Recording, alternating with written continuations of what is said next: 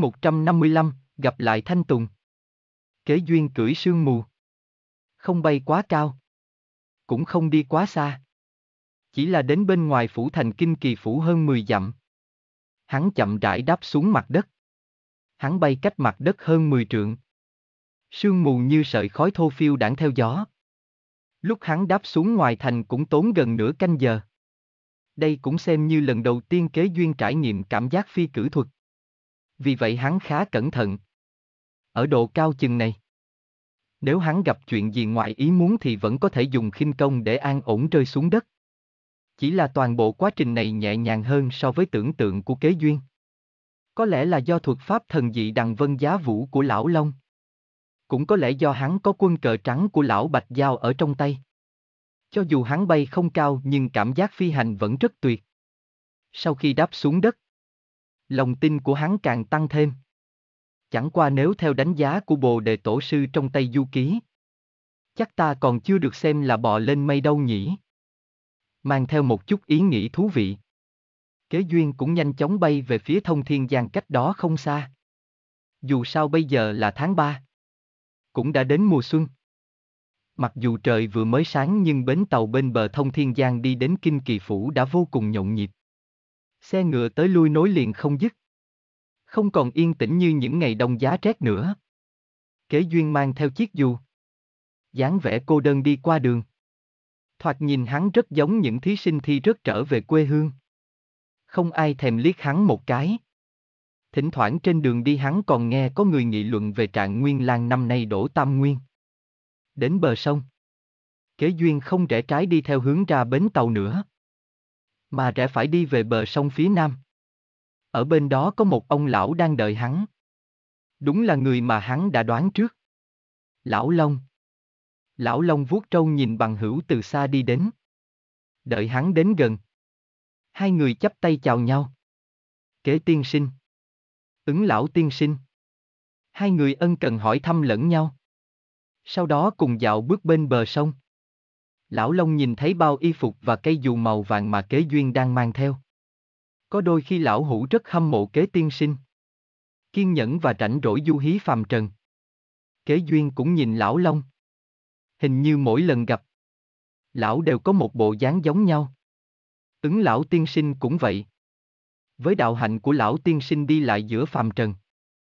Nếu có thần linh nhìn thấy thân rộng của ngài, mà có thực sự xem thấu được, cũng sẽ không nói cái gì sao. Hắc hắc. Ta không kiên nhẫn vậy đâu. Có một số việc rất thú vị nhưng còn không bằng thoải mái chập mắt một lát. Lão Long nói nửa đùa nửa thật. Chỉ là kế duyên nhìn ra được rốt cuộc Lão Long cũng không hào hứng chuyện nhân gian cho lắm. Nếu nói về tính kiên nhẫn, chân Long cũng không kém cạnh ai đâu. Một người một rồng cứ chậm rãi đi dọc bờ sông như vậy chừng vài dặm. Đến lúc thực sự phải chia tay. Lão Long nhắc nhở kế duyên đến lúc đó nhớ báo cho lão nơi hắn thanh tu. Hai người hàng huyên đơn giản vài câu liền tạm biệt nhau. Một chồng ẩn mình vào sông lớn. Một người tức thì bước lên mây mà đi. Ở Tịnh Châu ở phía đông nam của Đại Trinh. Trong 13 châu của Đại Trinh thì nơi này có diện tích tương đối nhỏ. Cả châu chỉ có 5 phủ mà thôi. Nhưng Tịnh Châu là nơi sản xuất lương thực chủ yếu của Đại Trinh. Hoàn cảnh khí hậu thích hợp. Ruộng đồng bình nguyên rộng lớn. Nhờ vậy nơi đây chính là kho gạo của Đại Trinh. Trong lịch sử có không biết bao nhiêu lần Đại Trinh gặp hạn đều phải điều động lương thực từ Tịnh Châu. Trường Xuyên Phủ là thủ phủ của Tịnh Châu. Ngoại trừ Phủ Thành. Nơi đây còn có 12 huyện lớn. Trong đó có huyện Đông Nhạc. Trên đường. Kế duyên thành thuộc đằng Vân Giá Vũ. Vừa đi vừa hỏi đường. Hữu kinh vô hiểm đến được huyện Đông Nhạc vào cuối tháng tư. Nơi này cũng chính là quê quán của Thanh Tùng Đạo Nhân. Nói thật là lúc hắn biết được Thanh Tùng Đạo Nhân và đồ đệ Tề Văn sống ở Tịnh Châu. Hắn cũng rất giật mình. Khoảng cách giữa Tịnh Châu và Kê Châu không gần. Lúc ấy, hắn vốn tưởng hai đạo sĩ này là người Kê Châu. Thậm chí ở trong Đức Thắng Phủ. Không nghĩ tới bọn họ lại đi dạo chơi xa như vậy. Với chút sức lực của người thường. Hơn nữa hai thầy trò thường xuyên xấu hổ vì trong ví rỗng tuyết. Thì rất có khả năng bọn họ không đủ tiền thuê xe ngựa. Hai người lại không có mục đích rõ ràng. Dựa vào lời nói của tiểu đạo sĩ Tề Văn thì hai người đã đi du lịch hai năm rưỡi. Ở Tịnh Châu có ít núi. Huyện Đông Nhạc cũng vậy. Cho nên rất dễ tìm ra núi Vân Sơn ở trong huyện. Kế duyên tùy tiện hỏi thăm một chút đã tìm ra Vân Sơn quan của Thanh Tùng Đạo Nhân. Quy mô của Vân Sơn này khá giống lão Hoa Sơn ở nơi giao nhau của Đức Thắng Phủ và huyện Cửu Đạo Khẩu vùng Kê Châu. Trong trường xuyên phủ, Vân Sơn này cũng không nhỏ. Lúc này, Kế Duyên đang đứng ở đỉnh núi Yên Hà. Bên ngoài Vân Sơn Quan. Đi lòng vòng bên ngoài Vân Sơn Quan một vòng. Đạo quán này nhìn như không lớn nhưng cái gì cần có đều có. Ngoại trừ chủ điện cung phụng những vì sao. Thi sảnh phụ. Phòng ngủ. Phòng bếp. Sân sau đều đầy đủ. Sân sau trồng một ít rau quả. Vì nó nằm bên sườn núi nên không có giếng nước. Muốn tưới nước thì phải xuống núi đến khe núi Vân Sơn để xách lên. Toàn bộ đạo quán chiếm diện tích ước chừng hơn một mẫu đất. Mà chỉ có hai người là Thanh Tùng đạo nhân và đồ đệ Tề Văn ở lại. Hắn nhìn khí tượng của đạo quán. Có lẽ Thanh Tùng đạo nhân và Tề Văn đã trở về từ lâu. Hiện tại, trong đạo quán không có ai. Hiển nhiên là hai người đã đi ra ngoài. Có lẽ bọn họ nghĩ trên núi sẽ không có kẻ trộm nên từ trong ra ngoài đều không dùng khóa. Chật chật chật. Gã thanh tùng đạo nhân này sẽ không ra ngoài làm thầy tướng số nữa đấy chứ. Kế duyên đẩy cửa. Đi vào trong sân. Hắn không đi xem phòng của hai người như thế nào. Mà đi thẳng vào chủ điện. Trong điện không phải cung phụng tam thanh của đạo gia. Mà là thời những vì sao Chu Thiên tinh đấu. Trong điện cũng không có tượng thần làm bằng đất sét mà là một tinh tú đồ bằng vải đen. Không biết có phải do những vì sao có điểm đặc thù hay không mà ánh mắt kế duyên vốn dĩ mơ hồ. Lúc này lại có thể nhìn thấy rõ ràng. Tinh tú đồ, bản đồ những vì sao bắt mắt nhất là chín ngôi sao. Bảy hiện hai ẩn của chòm sao bắt đẩu và sáu ngôi sao của chòm sao nam đẩu. Ngoài ra còn có rất nhiều ngôi sao khác được thêu lên đó. Ừ, cung phụng ngôi sao. Không phụng thần. Đạo gia ở nơi này có chút ý tứ. Trên thực tế, bất kể là ngoại đạo truyện, thông minh sách, hay là mấy thư tịch kế duyên lấy được từ chỗ lão Long, đều có nhắc tới Phật gia Minh Vương. Còn chuyện về đạo gia lại không nhiều. Phần lớn, Pháp Sư, mà dân chúng phàm trần thường mời đến là hòa thượng, hoặc những người giả dạng mặt, Pháp bào, nhưng rất ít khi mời đạo sĩ. Kế duyên nhìn tinh tú độ kia một lúc rồi đi ra ngoài. Ngoài điện cũng có lư hương. Nhưng hương khói cũng không nhiều. Chẳng qua nhìn hương khói đều tản đi. Xem ra tinh tú đồ kia không cần thiết. Cũng không dùng được rồi. Cũng khó trách dân chúng không muốn tới đạo quán thắp hương. Ngay cả một tượng thần cũng không có thì còn cầu cái gì nữa. Dưới Vân Sơn chừng hai. 30 dặm là huyện thành Đông Nhạc. Kế duyên không định chờ mãi ở đạo quán. Nên muốn đi xuống đó xem có thanh tùng đạo nhân hay không. Thuận tiện mua chút đồ ăn. Đám mây nhẹ nhàng bay đến bên ngoài huyện. Đi thẳng đến phường Miếu Ti của huyện thành. Quả nhiên. Bên ngoài Miếu Thành Hoàng. Dưới một cây đại thụ. Hắn nhìn thấy một tấm ván và bàn nhỏ. Thanh Tùng đạo nhân vẽ mặt ủ rũ đang ngồi đằng kia. Bên cạnh là tề văn đã lớn. Tuy rằng kế duyên không thấy rõ tấm biển nhỏ kia. Nhưng thỉnh thoảng thanh tùng đạo nhân sẽ nhiệt tình chào mời khách hành hương. Từng chữ đều rơi vào tài kế duyên. A, à, vị công tử này đến cầu hôn phối sao? A, à, vị cô nương này đến cầu duyên sao? Bần đạo xem thẻ cầu duyên. Giải xăm. Rẻ lắm đấy. Kế duyên âm thầm gật đầu. Xem ra lời mình nói vẫn lọc tai tề tuyên này.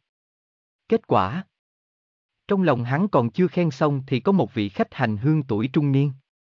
Trên đầu đội mũ vuông. Vạt áo màu xám đã đến trước quầy hỏi một câu. Đạo trưởng có giải thẻ bình an. Thẻ nhà cửa không? Tinh thần của thanh tùng đạo nhân nhất thời thay đổi. Tề văn bên cạnh vừa nói một chữ. Không. Thì tề tuyên đã nói ác đi giọng cậu. Giải. Sao lại không giải? nếu ta xem thẻ tre mà không nói kỹ được. Ta còn có thể xem thêm cho ngươi một quẻ. Sẽ không thu thêm bạc. À, tốt lắm. Tốt lắm. Mời đạo trưởng đoán thẻ xăm cho ta. Ha ha ha. Ngồi đi ngồi đi. Thực ra vừa rồi nhìn mặt ngươi. Ta đã thấy rồi. Chỉ là ngươi không đến nên ta nhịn không hỏi thôi. Thanh Tùng đạo trưởng vô cùng hiền lành. Mời khách hành hương ngồi xuống. Tề Văn ở bên cạnh và Kế Duyên đứng xa xa đồng thời thở dài. Chương 156, tính xấu không đổi. Trên thực tế, khách hành hương cũng có thể rút quẻ tại quầy hàng nhỏ của Thanh Tùng đạo nhân. Không cần phải vào miếu thành hoàng. Nhưng đa số hành khách đều thích xin xăm trước tượng thần của thành hoàng lão gia. Sau đó tự mình xem quẻ hoặc đi tìm người đoán xăm. Xin quẻ trong miếu được xem là một hình thức hồi đáp đặc thù của thần đạo. Thẻ trúc trước tượng thành hoàng chân chính vẫn có chút ý tứ. Nhiều ít cũng có liên hệ với sổ sách thần đạo trong âm ti. Người cầu khấn thành tâm vẫn có thể đạt được một vài phương hướng đại khái. Chỉ là không thấy rõ lắm mà thôi. Mà việc một người rút thăm ở chỗ thầy tướng số lại có chút khác biệt. Được coi như là một thủ đoạn xem quẻ đặc thù. Cũng là một kiểu bói toán. Dưới sự chào mời nhiệt tình của Thanh Tùng đạo nhân. Vị khách hành hương trung niên kia cũng ngồi xuống ghế nhỏ trước quầy hàng. Gã nghe nói Thanh Tùng đạo nhân vừa quan sát tướng mạo của mình. liền tò mò hỏi một câu. Đạo trưởng vừa mới quan sát tướng mạo của ta sao? Vậy thì có thể nói một chút được không? Thanh Tùng đạo nhân lắc đầu. Còn chưa nói chuyện. Thì tiểu đạo sĩ bên cạnh tề tuyên đã. Khục. Một tiếng. Giải xăm trước. Giải xăm trước. Ta đối chiếu lá thăm một chút. Ngươi còn nhớ rõ thẻ xăm không? Nam tử trung niên cũng không suy nghĩ nhiều. Giống như thực sự báo cáo. Ta thấy thẻ xăm trong miếu đã viết, mạc tân đấu chi dĩ bất hưu. Bính giáp. Kế duyên đã đứng dưới tán cây bên cạnh quầy hàng của thanh tùng đạo nhân không biết từ lúc nào. Hắn cũng không dùng dị thuật chướng nhãn pháp. Nhưng mấy người kia đều chú ý đến chuyện khác nên chẳng có ai phát hiện ra. Từ trong lời nói của nam tử trung niên kia, Kế duyên lấy được tin tức đầu tiên là người này có khả năng biết chữ. Trong lời nói cũng có thể hình dung ra là gã tự mình nhìn thấy. Mà không phải do người coi miếu đọc dùng nội dung trên thẻ xăm. Còn về việc giải xăm, gã lại đi nhờ thanh tùng đạo nhân thì kế duyên cũng cảm thấy quẻ này không được tốt. Kế duyên cũng không dồn hết sức xem khí. Chỉ có điều một thân mệnh hỏa của gã cũng xem như tràn đầy. Lại nhìn dáng vẻ của vị khách hành hương này chắc hẳn cũng không phải loại người tùy tiện động tay động chân với người khác. Thanh Tùng đạo nhân nghe xong quẻ này thì lông mày nhăn lại một chút. Y nhìn lại vị khách hành hương. Quẻ hạ hạ. Lúc này, dáng vẻ của Thanh Tùng đạo nhân giống như một cao nhân. Vẻ mặt rõ ràng đang suy nghĩ cẩn thận. Khiến cho khách hành hương cũng có chút căng thẳng. Xem vẻ mặt suy tàn yếu kém của người cũng không phải sinh ra đã có. Thanh Tùng đạo nhân nghiêm túc nói thêm một câu. Ngươi! Nam tử ngay lập tức thấy bực bội trong lòng. May mà gã biết kiềm chế. Chỉ là dòng điệu nặng nề hơn một chút. Mời đạo trưởng đoán xăm. Ở bên cạnh. Tề văn rất lúng túng. Vội vàng giải thích với gã một câu. Ách! Tiên sinh xin đừng hiểu lầm. Sư phụ ta nhìn ra vẻ mặt ngài dạo gần đây trở nên kém đi. Không phải đang mắng ngài đâu. Thanh Tùng đạo nhân cũng ý thức được bản thân lắm mồm lắm miệng rồi.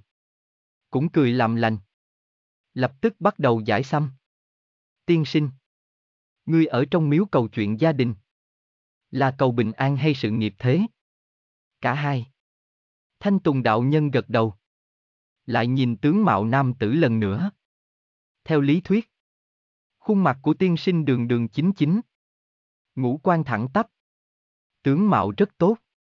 Chỉ là tình cảnh hôm nay khác thường. Có nghĩa là đang rất kém.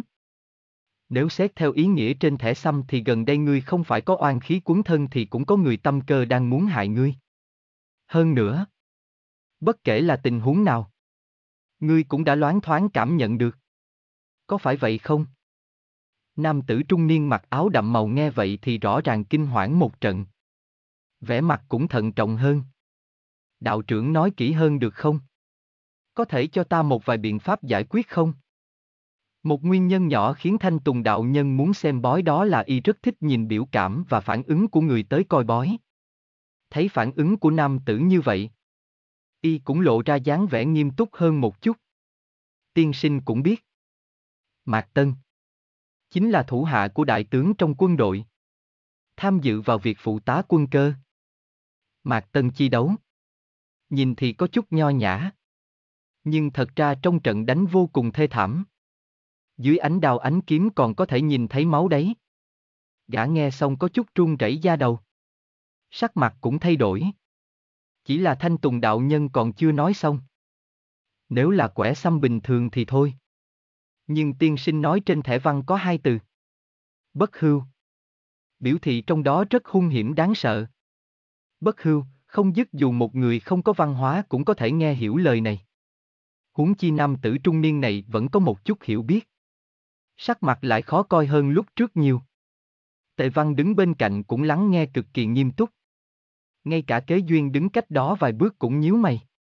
Nhưng hắn nhìn xuống ý định mở mắt nhìn kỹ nam tử trung niên này.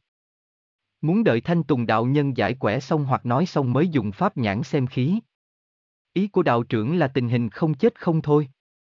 Không có bất kỳ chỗ trống nào có thể thương lượng sao. Ai? Việc đời không có gì là tuyệt đối cả. Thẻ xăm nói vậy cũng là mức độ nặng. Nhưng chưa hẳn không giải quyết được. Chúng ta vẫn có thể bàn bạc cụ thể. Dù sao ngươi bớt làm chuyện ác. Hành thiện tích đức nhất định không sai. Thanh Tùng đạo nhân hiếm khi trấn an một câu. Xem ra cũng nhớ lời dặn. Chỉ là trong 10 thẻ xăm thì 9 thẻ đều dùng phương pháp này. Tuy rất hợp lý nhưng chẳng có người nào cảm thấy lời khuyên này có giá trị. Ta thấy trong lòng tiên sinh cũng đã có phương hướng. Nếu không chữ đầu của thẻ xăm không phải là Mạc Tân, mà là Ngu Công. Rồi.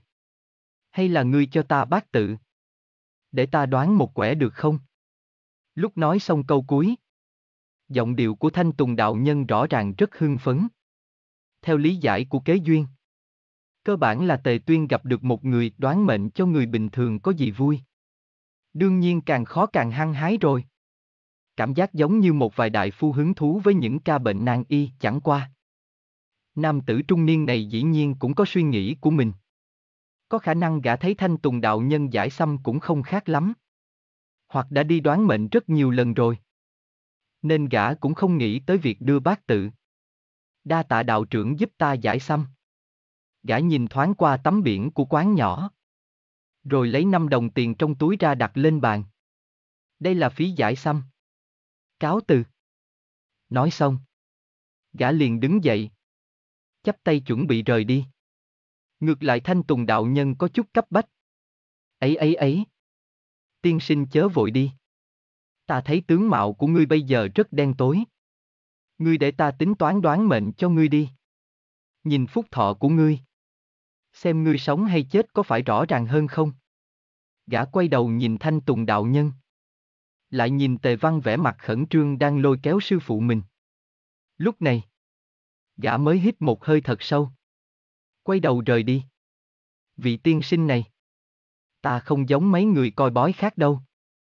Bọn họ nhìn không ra nhưng ta có thể. Ai nha? Tề văn. Con kéo ta làm gì? Sư phu. Người đừng nói nữa. Đồ đệ văn xin người. Tiên sinh kia không muốn xem mà. Sao gã lại không muốn xem chứ? Đó là sợ đoán mệnh. Ta khuyên gã một chút là xong thôi. Ai? Thấy vị khách hành hương đã đi xa. Thanh Tùng đạo nhân mới thở ra. Quảng tháng một câu. Khó gặp được người tính tình tốt. Kế duyên đang dương hai mắt lớn một chút nhìn nam tử trung niên đã rời đi kia. Nghe thấy lời này của Thanh Tùng đạo nhân. Hắn cũng dở khóc dở cười. Cảm giác như tề đạo trưởng cũng biết rõ đấy nhỉ. Nếu người nọ tính khí không tốt. Có phải nên đánh ngươi một trận không? Thanh âm chính trực của kế duyên vừa vang lên. Lập tức thu hút sự chú ý của Thanh Tùng Đạo Nhân và Tề Văn. Hai người quay đầu lại. Liền thấy hắn đang đứng dưới gốc cây. Là kế tiên sinh. Ha ha ha. Đúng là kế tiên sinh rồi. Kế tiên sinh chẳng thay đổi chút nào. Tề Văn vui vẻ thể hiện hết ra mặt. Ngay cả thanh tùng đạo nhân Tề Tuyên cũng cực kỳ hưng phấn. Nhưng nghĩ tới tình hình vừa rồi. Y đột nhiên có chút lúng túng. Chỉ vội vàng chấp tay thi lễ. Kế Duyên cũng cười chấp tay. Nói với Tề Văn. Tiểu đạo trưởng Tề Văn đã trở thành người lớn rồi. Lúc trước ngươi mới tới cầm của sư phụ. Vậy mà bây giờ đã cao thế này. Ách. Ha ha. Kế tiên sinh. Ngươi đến đây lúc nào? Thanh Tùng đạo trưởng có chút thấp thỏm bất an. Người này có thể không phải là phạm nhân thật rồi. Ta đã đến được một lúc. Còn đi dạo một vòng Vân Sơn Quan mới đi tìm các ngươi đấy. Không biết lúc nào ngươi dọn quán vậy? Dọn liền. Dọn liền. Tề Văn đừng đứng ngay ra đó nữa. Chúng ta dọn quán nào? Thanh Tùng đạo nhân thấy kế tiên sinh đặc biệt tới đây tìm mình thì đâu còn ngồi tiếp được nữa. Y nhanh chóng thu dọn đồ đạc. Nào dám để thần tiên chờ đợi tới chạng vạn tối chứ? Cái quán nhỏ này thật ra cũng chỉ có hai miếng gỗ dựng lên một tấm ván. Rồi phủ lên một miếng vải bố màu vàng. Sau hai đến ba lượt, quán nhỏ đã được hai thầy trò tháo dỡ xong. Thùng đựng quẻ và những vật khác đều được cất vào một cái sọt. Do tề văn vác trên lưng. Thu dọn xong rồi. Thu dọn xong rồi. Kế tiên sinh cùng trở về Vân Sơn Quan ăn bữa cơm rau dưa nhé. Đúng vậy kế tiên sinh. Sư phụ con làm đồ ăn rất ngon. Chỉ cần không chê ta đã quấy rầy sự thanh tĩnh của các ngươi là tốt rồi. Kế duyên vui đùa một câu. Rồi đi theo hai thầy trò rời đi. Sao có thể chứ? Kế tiên sinh có thể tới quán nhỏ cũ nát của chúng ta thật sự là vẻ vang cho kẻ hèn này rồi. Hôm nay, ta sẽ thể hiện bản lĩnh cho tiên sinh xem. Để ngài đánh giá thử tay nghề của phạm nhân so với tiên nhân như thế nào. Khẩu khí cũng không nhỏ. Chỉ là lúc trước kế duyên có ghé qua phòng bếp ở Vân Sơn Quan. Thấy gạo cũng không thiếu. Nhưng dầu muối, tương, giấm chua gì đó cũng không nhiều. Vậy ta cũng muốn mở mang kiến thức một chút về tay nghề của đạo trưởng rồi. Ăn sương uống gió mãi cũng không có vị gì. Nhưng ta từng dự yến tiệc ở Long Cung rồi đấy. Thanh Tùng đạo trưởng nghe vậy lập tức căng thẳng hơn. Chẳng qua là y nói khách khí một câu thôi. Kế tiên sinh đừng xem là thật. Kế duyên dứt khoát dẫn hai thầy trò ra thị trấn của huyện. Mua lấy một ít đồ vật. Cũng không quên mua thịt và cá. Chỉ có điều lúc rời khỏi huyện Đông Nhạc. Kế duyên còn quay đầu nhìn lại. Hắn nhất định phải cho tề tuyên uống mấy chén long tiên hương kia. Ước chừng sẽ khiến đạo nhân này ngủ mấy ngày rồi. Mấy ngày này chắc chắn y không thể đi bày quán được. Cũng không biết vị khách hành hương kia có quay trở lại tìm thầy tướng số giải cứu không đây. Chương 157, nếm thử mà thôi. Bởi vì trong núi có mây mù nên nơi này mới được đặt tên là Vân Sơn. Vào thời điểm thích hợp trong ngày. Sương mù ngập tràn Vân Sơn. Nhất là những lúc đứng ở một vài đỉnh núi thật cao. Nhìn sương mù xung quanh như thấy biển. Phong cảnh đẹp không sao tả xiết. Nơi nổi tiếng nhất trong núi là đỉnh quan vụ của Vân Sơn. Nhưng thật ra đỉnh Yên Hà của Vân Sơn Quan cũng không tệ. Chỉ là vị trí ở bên ngoài hơi xấu. Cho nên những người muốn lên núi ngắm sương mù chắc chắn sẽ không chọn nơi này. Hơn nữa, dù sao trên Vân Sơn cũng có giả thú. Tuy không có ai đồn đại rằng nơi này có cọp dữ. Nhưng trên thực tế vẫn có một số loại nguy hiểm như lan sói hay là hổ báo đấy. Nghề trồng lúa ở tỉnh Châu đủ để nuôi sống người dân cả vùng. Nên quả thực có rất ít người liều mạng. Bất chấp nguy hiểm lên núi kiếm ăn. Cho nên, nếu đặt Vân Sơn ở Kê Châu thì đây cũng không phải nơi thăm sâu gì. Nhưng lại mang đến cảm giác hoang vu. Vắng bóng người. Lúc Thanh Tùng đạo nhân. Tề Văn và Kế Duyên đến thị trấn thì sắc trời vẫn còn sớm. Chẳng qua. Ba người lên núi không sử dụng bất kỳ loại pháp thuật thần thông nào. Vì vậy dù không tính quãng đường lên núi, thì đi đến chân núi cũng dài đằng đẵng hơn 20 dặm. Dù hai người Tề Tuyên và Tề Văn chưa từng chính thức luyện võ, nhưng quanh năm luyện đạo gia rèn thân pháp, khá giống với bát đoạn cẩm mà hắn biết ở kiếp trước. Có tác dụng làm cho thân thể khỏe mạnh. Vì vậy, sức lực của hai người cũng không tệ. Lên núi cũng không tốn quá nhiều thời gian. Bác Đoạn Cẩm, một bài tập khí công ở Trung Quốc trên đường đi. Bọn họ kể chuyện trên trời dưới đất. Từ việc tới Kê Châu gặp thần y Tần Tử Chu. Tới việc Thanh Tùng đạo nhân dưỡng bệnh trong bao lâu. Lại trở về tỉnh Châu như thế nào? Lúc lên núi. Mặt trời đã ngã về Tây. Trong tay kế duyên sách miếng thịt và một con cá lớn. Một đường lên núi Vân Sơn. Hắn cũng hay nói đùa với hai thầy trò. Thường các ngươi trở về lúc nào? Từ huyện Đông Nhạc đến đây xa như vậy. Các ngươi không đến mức ngồi tới khi trời tối đấy chứ. Cả đoạn đường này. Ba người đi bộ cùng nhau. Hơn nữa. Tính tình kế duyên cũng hiền hòa. Nên hai thầy trò nói chuyện cũng không còn quá câu nệ như lúc trước. Nghe thấy kế duyên nói vậy. Ngay lập tức tề văn bắt đầu than phiền. Kế tiên sinh. Ngài nói đúng điểm quan trọng rồi đấy ạ, à, có đôi khi con và sư phụ về đạo quán. Còn chưa lên núi thì trời đã tối rồi. Ngài nhìn bên trong sọc của con có hai thanh đao bổ củi dùng để đề phòng giả thú đấy ạ, à, kế duyên chưa bao giờ lộ ra tiên thuật diệu pháp gì trước mặt hai người. Thật ra, trong lòng tề văn, kế tiên sinh càng giống một đại tiên sinh nhã nhặn có võ công cao cường và tâm địa tốt hơn. Nhưng thanh tùng đạo nhân lại khác. Trong lòng y khẳng định kế duyên không phải phàm nhân. Nghe thấy đồ đệ của trách mình trước mặt kế tiên sinh. Y cũng rất xấu hổ. Chỉ là thỉnh thoảng. Thỉnh thoảng mới như vậy. Mọi khi chúng ta trở về. Trời vẫn chưa tối đâu. vả lại. Bây giờ dăm bữa nửa tháng ta mới bày quay hàng. Có đôi khi đi loanh quanh mấy thôn xóm. Còn đa số thời gian vẫn tu hành ở trong núi đấy. À, tu hành sao? Ta cũng có chút tò mò. Không biết đạo sĩ các ngươi tu hành như thế nào nhỉ? Quả thực hắn hỏi câu này cũng do hiếu kỳ. Với kiến thức giang hồ mà hắn biết thì bản thân đạo quán giống như một môn phái trong chốn võ lâm. Tu hành nhiều ít cũng liên quan đến quá trình luyện võ. Thoạt nhìn Vân Sơn Quan giống như một đạo quán cá ướp muối, đây là phép ẩn dụ của người không muốn làm gì. Không có tham vọng. Hai đạo sĩ bình thường tu cái gì đây? Không đến mức chỉ có xem bói chứ. Tu đạo. Tất nhiên là muốn đắc đạo thành tiên rồi. Ách. Thanh Tùng đạo nhân nói đến đây đột nhiên dừng lại. Vô thức nhìn sang kế duyên đang lên núi cùng bọn họ. Tuy rằng mấy năm qua, y chưa từng thấy vị kế tiên sinh này thi triển ra thủ đoạn thần tiên nào. Nhưng y vô cùng tin tưởng rằng người này chính là thần tiên. Ở trước mặt thần tiên lại nói tới tu tiên. Y cảm thấy mình như đang múa rìu qua mắt thợ vậy. Ha ha. Ý tưởng đắc đạo thành tiên cũng rất hay. Nói tiếp đi. Ngược lại. Kế duyên cười cười không để ý dưới góc nhìn của hắn. Kế duyên không xem bản thân là thần tiên thật sự. Chỉ là một người tu tiên mà thôi. Phần lớn những tiên phủ. Tiên môn. Tiên sơn. Tiên đảo cũng như thế. Thanh Tùng đạo nhân lại nói chuyện cẩn thận hơn một chút. Nghĩ đi nghĩ lại một phen mới nói tiếp. Thật ra đạo sĩ tu hành. Sở tu chỉ là giữ tâm thanh tịnh. Trong núi không cung phụng thần linh. Cũng không cầu tiền tài.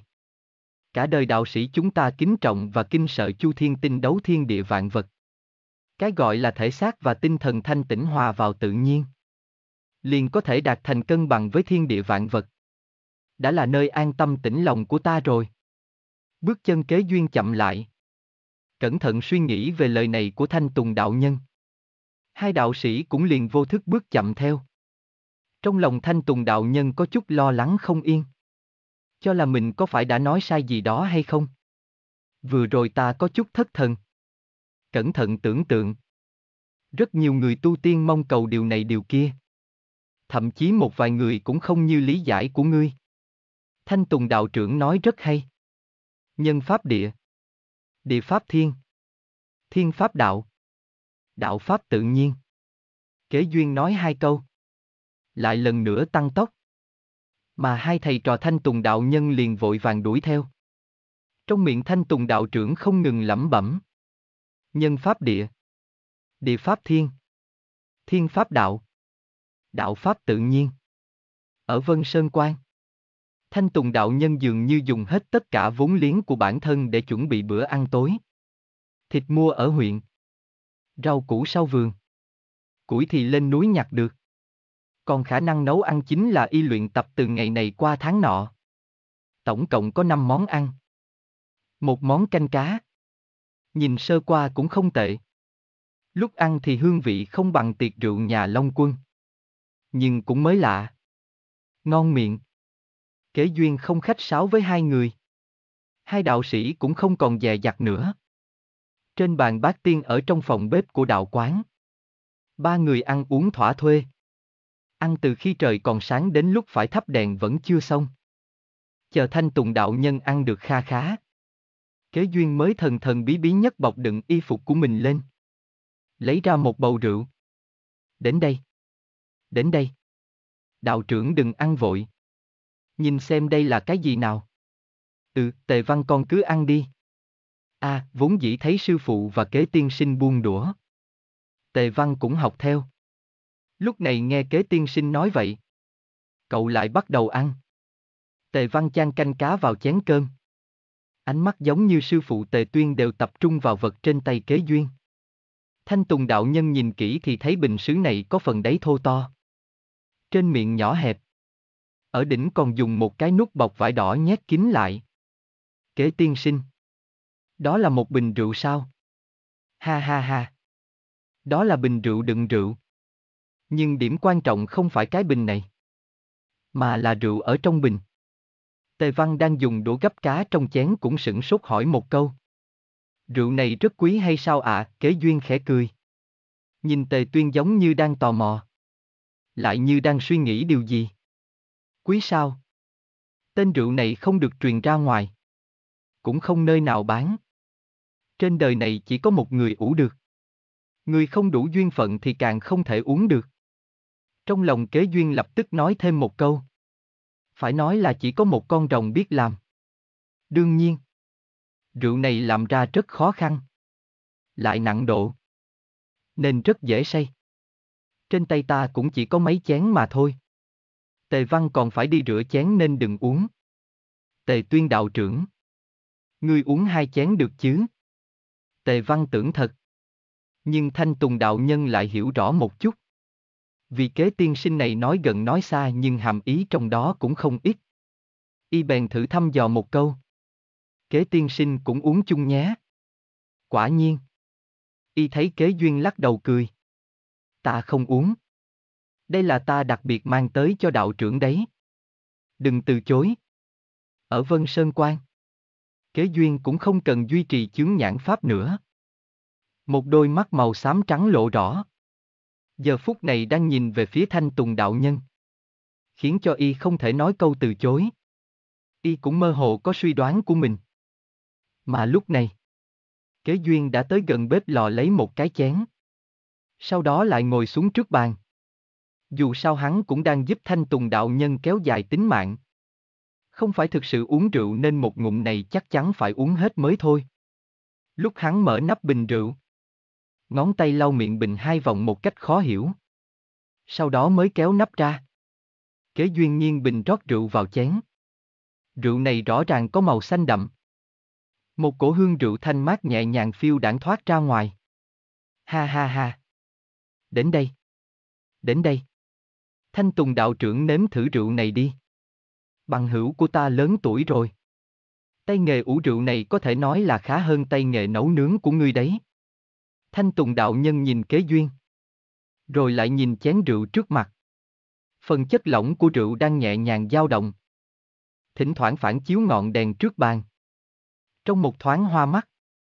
Y nghĩ rằng mình có thể nhìn thấy rượu này có lớp sương mù nhẹ nhẹ. Vậy ta. Liền nghe kế tiên sinh. Nếm thử. Lúc tề tuyên thử dò hỏi. Tề văn cũng nói xen vào. Sư phụ. Không phải người không uống rượu sao? Lời này tề văn tiểu đạo trưởng nói sai rồi. Cũng không phải để cho thanh tùng đạo trưởng uống say. Chẳng qua là nếm thử mà thôi. Nếm thử không có chuyện gì đâu. Kế mổ vẫn có chừng mực. Thanh tùng đạo trưởng xin mời. Ai? Được. Tề tuyên cẩn thận bưng chén lên. Khẽ ngửi mùi rượu. Sương mù nhẹ nhẹ bay vào trong mũi. Y lập tức cảm thấy có chút hốt hoảng. Trong đầu giống như có tiếng sống. Lại giống như tiếng tiên hạt ca múa. Kế duyên nhìn y có chút mê man. Vội vàng đặt tay vào sau lưng y, một tia pháp lực mang theo một sợi linh khí hòa nhập vào trong cơ thể tề tuyên. Đừng nghe nữa. Uống đi. Tề tuyên thanh tĩnh một chút. Nghiêng chén đổ rượu vào trong miệng. Đầu lưỡi lập tức chạm vào phần chất lỏng. Mùi vị cũng lan tỏa trong đó. Ánh mắt cũng bắt đầu khẽ híp lại. Chẳng qua. Không đợi y kịp bình phẩm. Đột nhiên y cảm thấy chén rượu trên tay có một lực lớn truyền đến. Ô, tay phải của kế duyên trực tiếp cầm lấy cái chén. Tay trái vỗ nhẹ sau lưng tề tuyên. Từng ực từng ực từng ực. Hơn một nửa chén rượu đã rót vào miệng thanh tùng đạo nhân. Y buông chén xuống. Quay đầu sững sờ nhìn kế duyên. Còn chưa kịp thở ra một hơi. Thân thể y lay động một chút rồi nhẹ nhàng gục xuống bàn. Phát ra tiếng hít thở đều đều. Ở bên cạnh. Tề Văn cũng bị động tác này của kế duyên dọa sợ. Nhìn thế nào cũng cảm thấy vừa rồi kế tiên sinh ép sư phụ mình uống rượu. Ai? Rượu này rất dễ say. Sư phụ ngươi lại uống quá chậm. Nếu ta không làm như vậy thì y chưa uống hết liền ngã xuống rồi. Kế duyên cười sáng lạng. Giải thích với tề văn một câu. Ăn cơm. Ăn cơm nào? Chúng ta ăn thôi. Ách. Vâng. Tề văn cẩn thận nhìn dáng ngủ bình tĩnh của sư phụ mình. Một cái rắm cũng không dám thả. Chương 158, tại nơi này. Kế Duyên và Tề Văn cùng nhau ăn hết tất cả đồ ăn còn dư trên bàn. Nhưng chủ yếu là Kế Duyên ăn nhiều hơn. Còn Tề Văn chỉ ngồi nhìn. Tề Văn vừa thu dọn đồ ăn thừa trên bàn với Kế Duyên. Vừa hỏi. Kế tiên sinh. Sư phụ con không sao chứ? Ngài cho sư phụ uống rượu gì vậy? Cũng may ở nơi này chính là Kế Duyên. Tề Văn mới không cảm thấy lo lắng. Nếu đổi lại là người khác. Có lẽ cậu đã hoài nghi đối phương hạ dược cho sư phụ mình rồi. Kế duyên dùng nồi nấu canh tạm thời làm thùng rác. Quét tất cả đồ ăn thừa và xương cá vào. Cố gắng né tránh đỉnh đầu của thanh tùng đạo nhân. Còn giúp ta cầm ngọn đèn lên. Ta lau bên này một chút. À, từng cái chén một được chồng lại với nhau. Trên bàn được dọn dẹp sơ qua một lần. Lúc này, Kế Duyên mới nói với Tề Văn đang chuẩn bị đặt chén bát vào trong chậu gỗ. Bên trong rượu sư phụ con uống có rất nhiều dược liệu quý hiếm. Dược lực mạnh mẽ. Rượu cũng nặng. Nhưng uống vào lại rất tốt cho thân thể. Chỉ là y uống một lần quá nhiều. Nên ước chừng phải ngủ dăm ba ngày đấy. Uống một lần quá nhiều sao? Tề Văn rụt cổ một cái. Tuy ngọn đèn trong phòng bếp không quá sáng nhưng cậu vẫn thấy rõ đấy. Không phải lúc nãy kế tiên sinh ngài rót rượu sao? Chẳng qua. Nghe được câu nói sau của kế duyên. Tề văn lập tức kịp phản ứng. Ngủ dăm ba ngày sao? Lâu như vậy à, đúng vậy. Với cá tính của sư phụ con. Chắc chắn những năm này bị đánh không ít. Sau khi dược lực trong rượu kia vào trong cơ thể y, một số vết thương cũ gì đó sẽ tốt hơn thân thể cũng sẽ khỏe mạnh hơn lúc trước. Lúc trước, Thanh Tùng đạo nhân xem quẻ cho hắn suýt mất nửa cái mạng. Thật ra chuyện này chỉ có Tề Tuyên và Kế Duyên hiểu rõ. Tuy Tề Văn cũng biết lần đó sư phụ xem tướng số có vấn đề lớn. Nhưng cậu vẫn mơ hồ chuyện tuổi thọ của sư phụ mình. Vì vậy, lúc này Kế Duyên cũng chỉ nói đến chuyện thân thể sẽ tốt hơn mà thôi. Chỉ là Tề Văn đã nghĩ sang một hướng khác. Bỗng nhiên vẻ mặt cậu có chút hưng phấn. Kế tiên sinh. Có phải ngài mang theo thần dược võ lâm gì đó mà mọi người đồn đại hay không? Ăn vào có thể làm cho người ta công lực tăng mạnh. Hoặc là đã thông kinh mạch gì đó. Trở thành cao thủ giang hồ phải không ạ, kế duyên cũng vui vẻ. Chắc hẳn tề văn thường hay nghe mấy tiên sinh kể chuyện xưa lắm đây. Cũng có chút giống loại kia. Chỉ là sư phụ con không luyện võ nên sẽ không trở thành cao thủ võ lâm được. Hai người nói chuyện phím một lúc đã dọn xong phòng bếp. Cuối cùng, bọn họ mới khiêng Thanh Tùng đạo nhân về phòng. Đừng nhìn vẻ ngoài Thanh Tùng đạo nhân có vẻ không mập. Nhưng trên thực tế, lúc đỡ y, kế duyên cảm thấy rất nặng. Nếu nói là da thịt chắc chắn, Ừ, thì cũng có thể xem là chịu đòn được. Ở trong đạo quán, giường ngủ không phải là loại giường gỗ phổ biến, mà được xây bằng gạch. Nhìn qua giống như ở đầu giường có đặt lò sưởi vậy. Dù không có chức năng sưởi ấm. Chính giữa giường lót mấy tầng rơm rạ. Rồi được phủ lên một lớp chăn nệm. Một cái giường thật dài đủ để cho bốn năm người cùng ngủ. Lúc này, hai thầy trò dùng chung một phòng ngủ. Trong đạo quán cũng có một gian phòng ngủ khác. Cách bài trí cũng không khác lắm. Để cho kế duyên ngủ tạm. Sau khi bố trí ổn thỏa cho thanh tùng đạo nhân, Tề Văn liền dẫn kế duyên sang phòng kia. Bởi vì nơi này thường xuyên được lau dọn nên không có chút bụi bặm nào. Tề Văn vác rơm rạ đến. Cùng kế duyên trải giường chiếu.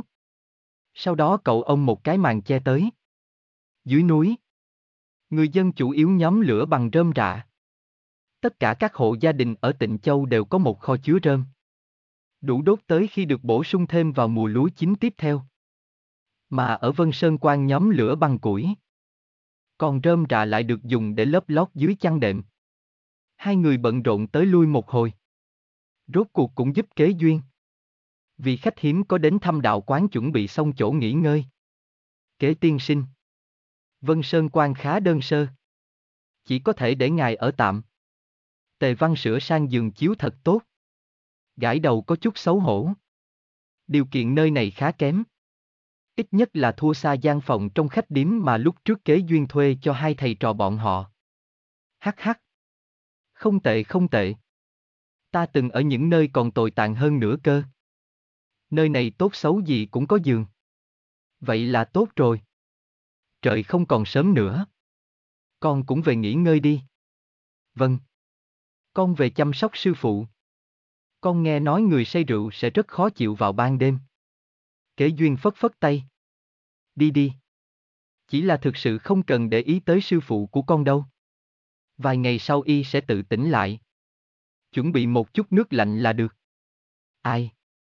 Đúng rồi. Kế tiên sinh. Buổi tối ngày nhất định phải đóng chặt cửa sổ nhé. Tuy ít người nhìn thấy nhưng đôi khi có một vài động vật như lan sói đi dạo quanh đỉnh Yên Hà đấy. Biết rồi. Biết rồi. Kế duyên lơ đến trả lời một câu. Kế tiên sinh. Võ công của ngài cao cường. Nhưng vẫn nên cẩn thận một chút. Đừng xem thường ạ, thấy tề văn bắt đầu dạy dỗ. Kế duyên đành phải chấp tay trịnh trọng nói. Được được. Đa tạ tiểu đạo trưởng đã cho biết. Kế mổ nhất định sẽ chú ý, chờ tề văn cảm thấy có chút ngại ngùng.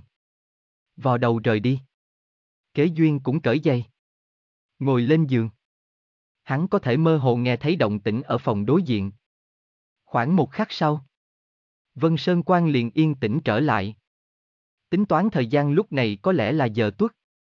Khoảng 8. 9 giờ ở kiếp trước. Bên trong phòng có cửa gỗ lấy cây gỗ chống cửa sổ lên liền có thể nhìn thấy trời sao. Kế duyên nhìn ra ngoài cửa sổ. Trong lòng suy nghĩ chuyện của Vân Sơn Quang. Vừa rồi. Trên bàn ăn. Hắn trò chuyện với hai thầy trò thì biết được đạo quán này đã được xây dựng từ rất lâu rồi. Khoảng 4.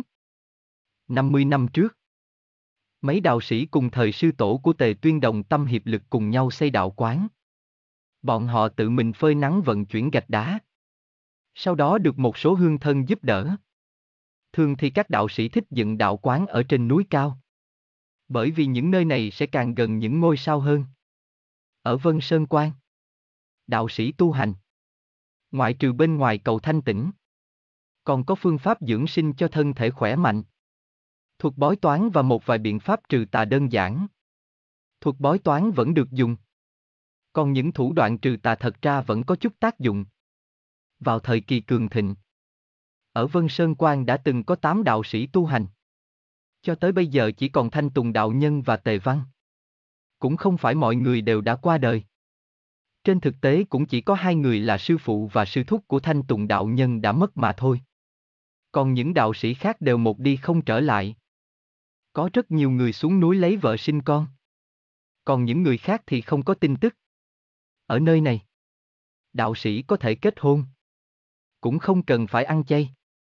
Vào những dịp đặc biệt cần làm năm loại trai giới. Chỉ là cũng không có đạo sĩ nào lấy vợ rồi lên núi. Còn những người xuống núi lập gia đình cũng không hề xem mình là đạo sĩ. Trai giới ngũ tân hay ngũ huân là năm thứ có mùi cây hôi gồm hành. Hẹ. Tỏi. Kiệu. Nén. Thanh tĩnh đúng là khó cầu. Cũng khó nhịn. Kế duyên dứt khoát trời giường. Mặt dày rồi đi ra khỏi cửa. Phòng đối diện đã tắt đèn. Toàn bộ vân sơn quan thật yên tĩnh. Hắn ngẩng đầu nhìn bầu trời. Những ngôi sao thật gần. Dường như có thể chạm tay tới. Thế giới này cũng có bảy ngôi sao của chòm bắt đầu quen thuộc như kiếp trước. Mặt trời vẫn mọc đằng đông. Lặng đằng tây như cũ. Canh giờ cũng không nhiều hơn. Không ít hơn. Nhưng các loại sông núi. Địa lý lại khác xa một trời một vực với kiếp trước. Thậm chí trời đất lại càng thêm mênh mông. Việc không thể nhiều lời khiến kế duyên thỉnh thoảng cũng nghĩ đến nhưng vẫn mãi không thông. Cục cục. Cục cục. Cục cục. Dưới núi có tiếng động vật kêu. Ở trong núi hiện lên một loại cảm giác khoan thai thông thả. Hắn nhìn về phía đông. Trước mắt không có ngọn núi nào cao hơn đỉnh Yên Hà. Phía hai bên lại có nhiều nơi cao hơn. Vào lúc mặt trời mọc. Đứng ở ngọn núi này có thể nhìn thấy toàn bộ. Hắn lại nhìn về phía tây cũng giống như vậy. Hắn ngẩng đầu nhìn trời. Nhìn núi. Nhìn hướng gió. Lại nhìn quanh một vòng. Không khỏi cảm thán trong lòng. Đúng là chỗ tốt. Tại nơi này. Chương 159, như một tờ giấy. Kế duyên đứng nhìn bầu trời đầy sao một lúc. Liền trở về phòng ngủ. Giường ở trong phòng vừa có một lớp rơm rạ. Lại được phủ bằng bông vải. Quả thực vẫn rất thoải mái. Nhất là lớp rơm này vẫn còn mới. Chẳng qua. Giường kiểu này nên thường xuyên đổi rơm rạ là tốt nhất. Hắn tháo giày rồi cởi áo. Nghiêng người nằm xuống giường. Thẻ ngọc dùng để gối đầu đã thay đổi thành một cái khác. Bây giờ chính là ngự thủy quyết. Khẳng định rằng thuật điều khiển nước này còn chính thống hơn cả ngự thủy quyết của tiên môn chính thống nữa. Khoảng nửa đêm. Trong lúc đang ngủ mơ. Kế duyên chợt mở mắt. Hắn nghe thấy bên ngoài đạo quán có chút động tĩnh. Hai đạo trưởng phòng đối diện vẫn còn ngủ say. Kế duyên lập tức khoác thêm áo. Bước xuống giường. Mở cửa đi ra ngoài. Ở bên ngoài. Gió núi hơi lạnh. Hắn nhẹ nhàng nhảy lên mái nhà trên phòng bếp của đạo quán. Toàn bộ quá trình này không phát ra một chút âm thanh nào cả. Vách của phòng bếp và bờ tường của đạo quán dựa sát vào nhau. Phòng bếp có hai cánh cửa. Một cánh mở ra phía nội viện. Một cánh cửa còn lại hướng ra ngoài. Ở đó có hai con vật lớn bằng hai chú mèo nhỏ. Bọn chúng đang kiếm ăn ở ngoài cửa bếp. Gặm nhắm mấy cục xương thừa nằm trong đống rác. Rộp rộp rộp. Rộp rộp rộp. Két. Két. Gừ gừ. Hai con giả thú thỉnh thoảng còn tranh giành nhau. Phát ra tiếng gầm gừ uy hiếp. Kế duyên khá hứng thú. Bèn chậm rãi ngồi xuống nóc nhà của phòng bếp. Trên người hắn sạch sẽ không chút tì vết. Căn bản không có chút mùi nào truyền ra. Với lại hắn cũng cố gắng không phát ra âm thanh gì. Vì vậy cũng không hù dọa hai con vật đang ăn uống kia. Nhìn thấy bọn chúng có dáng vẻ khéo léo và hàm răng sắc nhọn. Đầu nhỏ thân dài. Cái đuôi hơi lớn. Ít nhất cũng không quá giống loài mèo. Đây là con chồn sao? Hay là một loài sóc núi nhỉ? Có lẽ là chồn rồi. Các loài động vật như lan sói, hổ báo, hồ ly hay khỉ sẽ có chiều cao khác nhau. Tuy ánh mắt của hắn không tốt lắm nhưng có thể phân biệt dễ dàng. Nhưng với hai con vật nhỏ này, dù hắn muốn nhìn rõ cũng gặp chút khó khăn. Rõ ràng bọn chúng không phải là mèo mà cũng không phải là sóc rồi. Do kế duyên và tề văn ăn uống khá sạch sẽ. Nên một ít xương cá và đồ ăn thừa mà hai con thú nhỏ đang giành nhau cũng chẳng còn miếng thịt nào sót lại. Mặc dù thoạt nhìn bọn chúng rất thông minh. Nhưng kế duyên lại thấy không có gì đặc biệt. Dù sao trong cả hai đời. Hắn đã gặp qua rất nhiều loài động vật khôn ngoan. Nên lúc này. Hắn ngồi quan sát trên nóc nhà cũng chỉ là do nổi hứng mà thôi. Rốt cuộc cũng không có nhiều xương cá và đồ ăn thừa nên hai con vật nhỏ cũng chỉ tranh nhau một ít xương nhỏ để ăn. Liếm láp một ít tủy trong xương sống của cá. Còn dư lại phần lớn là những cục xương lớn không thể ăn được. Nhưng dù vậy, trong miệng bọn chúng vẫn gặm một khối xương từ đầu đến cuối. Chắc là ăn không được thì nếm mùi vị cũng tốt. Nhưng mà trong khoảnh khắc bọn chúng rời khỏi đạo quán chừng bảy tám trượng. Một con cú đêm ở trên cây vỗ cánh bay xà xuống. Phành phạch. Ca ca ca. Ở trên mặt đất.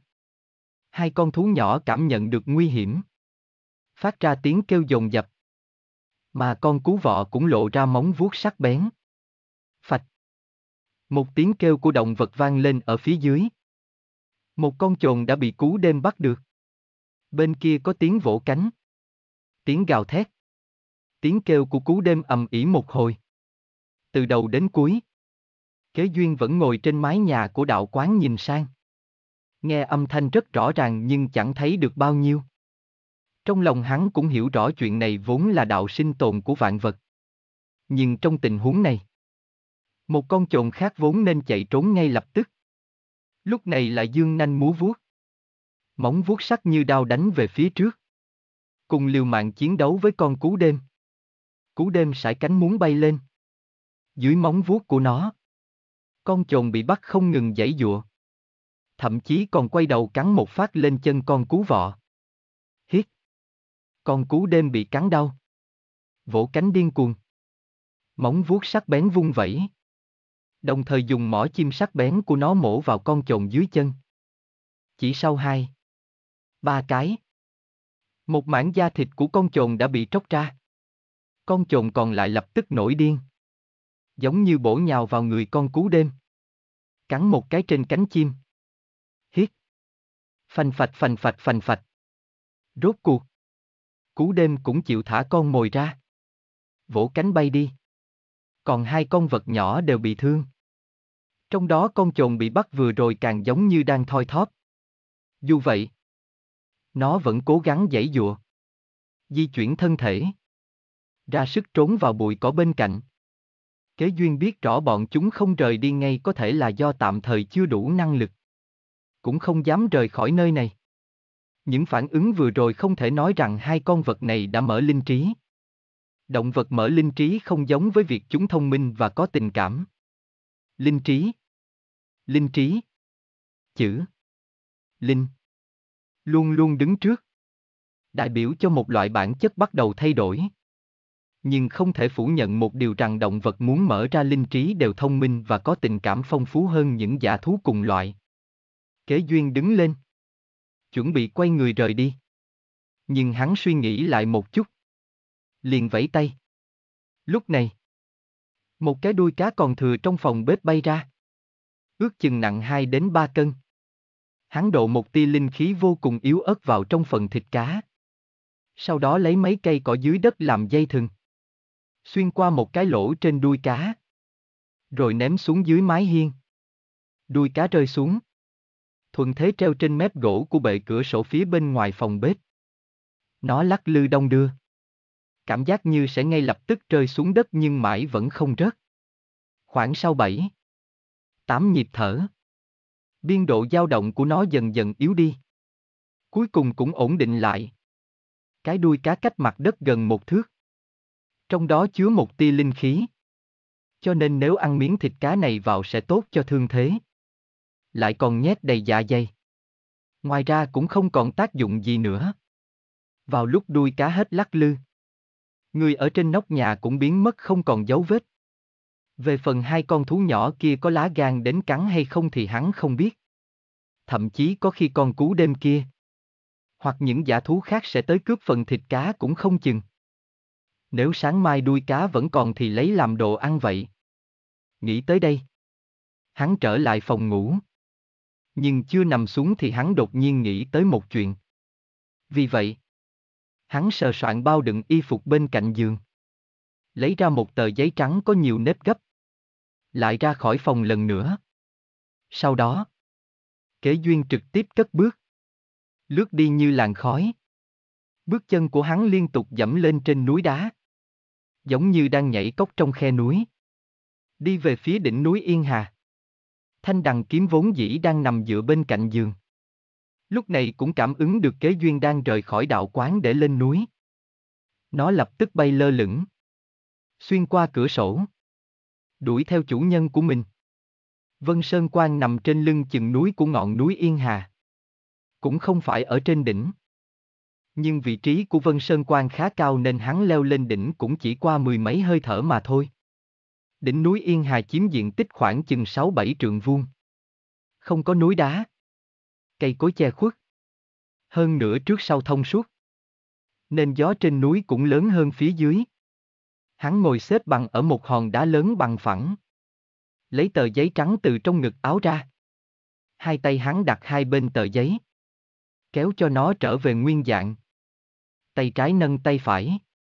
Lấy ngón tay làm bút. Hắn cứ như vậy viết chữ lên tờ giấy trắng. Mặc dù không có mực nước. Nhưng hắn có pháp lực. Coi như là kết hợp vận dụng sắc lệnh và dĩ vật truyền thần. Hắn vẫn rất thành thạo với phát minh nho nhỏ này của mình. Viết xong. Hắn cảm thụ một chút. Vì muốn cho chắc chắn nên hắn độ vào khá nhiều pháp lực nhỏ mịn. Phủ kín cả trang giấy trước mặt. Ừ, kế tiếp sẽ phải kiểm tra xem tài nghệ thủ công của ta có thụt lùi hay không. Chắc là gấp như vậy nhỉ?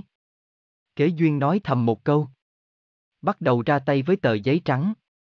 Sau nhiều lần gấp thử. Trang giấy lại nhăn nhúm như cũ. Sau mấy lần. Rốt cuộc một con hạt giấy tinh xảo cũng xuất hiện trong tay hắn. Phù. Cuối cùng cũng xong. Cuối cùng cũng xong. Hắn nhìn trái nhìn phải con hạt giấy này. Xác nhận nhiều lần về độ tinh xảo của nó mới an tâm một chút. Sau đó, hắn dùng ngón tay trỏ dính một chút nước miếng trên đầu lưỡi.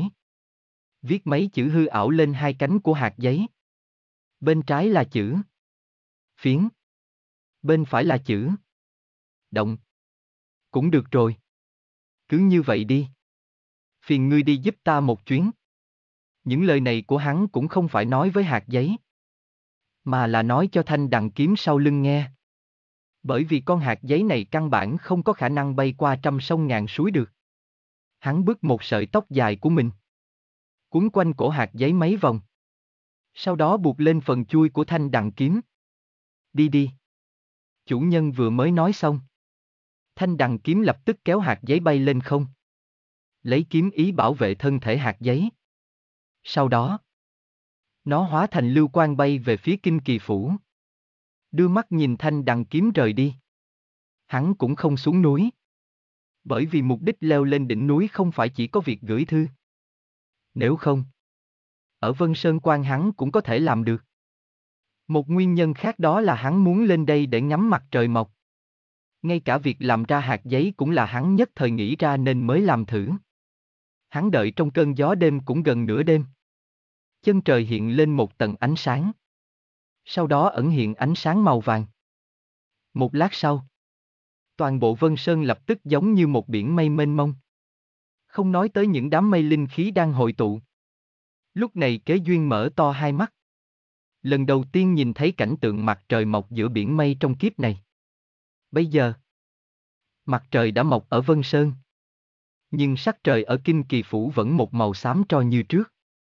Thanh đằng kiếm vượt qua mấy ngàn dặm. Xé gió đáp xuống trên bầu trời thông thiên giang ở Kê Châu. Rơi chính xác xuống trạng nguyên độ bên cạnh miếu thời gian thần nương nương. Thân kiếm khẽ ông lên một tiếng rất nhỏ.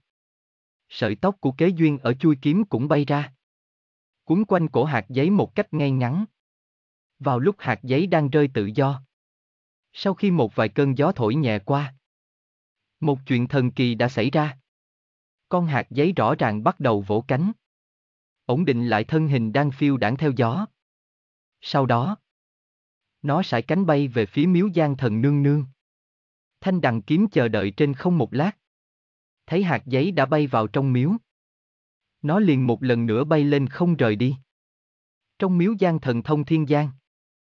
Một con hạt giấy vỗ cánh nhẹ nhàng như chim. Xuyên qua hành lang. Bay qua phòng ốc. Cuối cùng chui qua cửa thông gió. Tiến vào chủ điện. Nó bay vòng quanh tượng thần của Giang thần nương nương vài vòng. Rồi đáp xuống tay phải của bức tượng. Ánh sáng nhạt lóe lên rồi trở nên yên tĩnh. Khoảng một khắc đồng hồ sau. Một nữ tử dịu dàng mặc hoa phục vội vàng bước đến. Cửa miếu thờ chưa mở nhưng không thể cản bước chân của nàng. Cuối cùng, nàng đẩy cửa lớn của chủ điện đi vào bên trong. Sau khi vào điện, Long nữ ngẩng đầu. Ánh mắt nhìn về bàn tay phải trên tượng thần của mình. Nàng khẽ vẫy tay. Một con hạt giấy rơi vào tay nàng. Con hạt giấy vừa xà xuống lòng bàn tay long nữ liền vỗ cánh. Khiến cho nàng tò mò chọt chọt hai cái. Nhưng con hạt giấy lại không động đậy nữa. Đây là thuật pháp gì? Thú vị thật đấy. Còn đây là tóc của kế thúc thúc sao? Nàng vô thức giật sợi tóc ra khỏi con hạt giấy. Lúc này, con hạt giấy liền thể hiện công hiệu của dĩ vật truyền thần. Truyền đạt lại bức thư của kế duyên cho Long nữ ứng nhược ly. Thật lâu sau, tin tức đã nói xong. Nhưng Long nữ vẫn sững sờ nhìn hạt giấy. Vẻ mặt không thể tin được. Nàng đánh giá nó nhiều lần. Nhìn thế nào cũng chỉ thấy đây là một tờ giấy tuyên thành bình thường mà thôi. Không thể nào.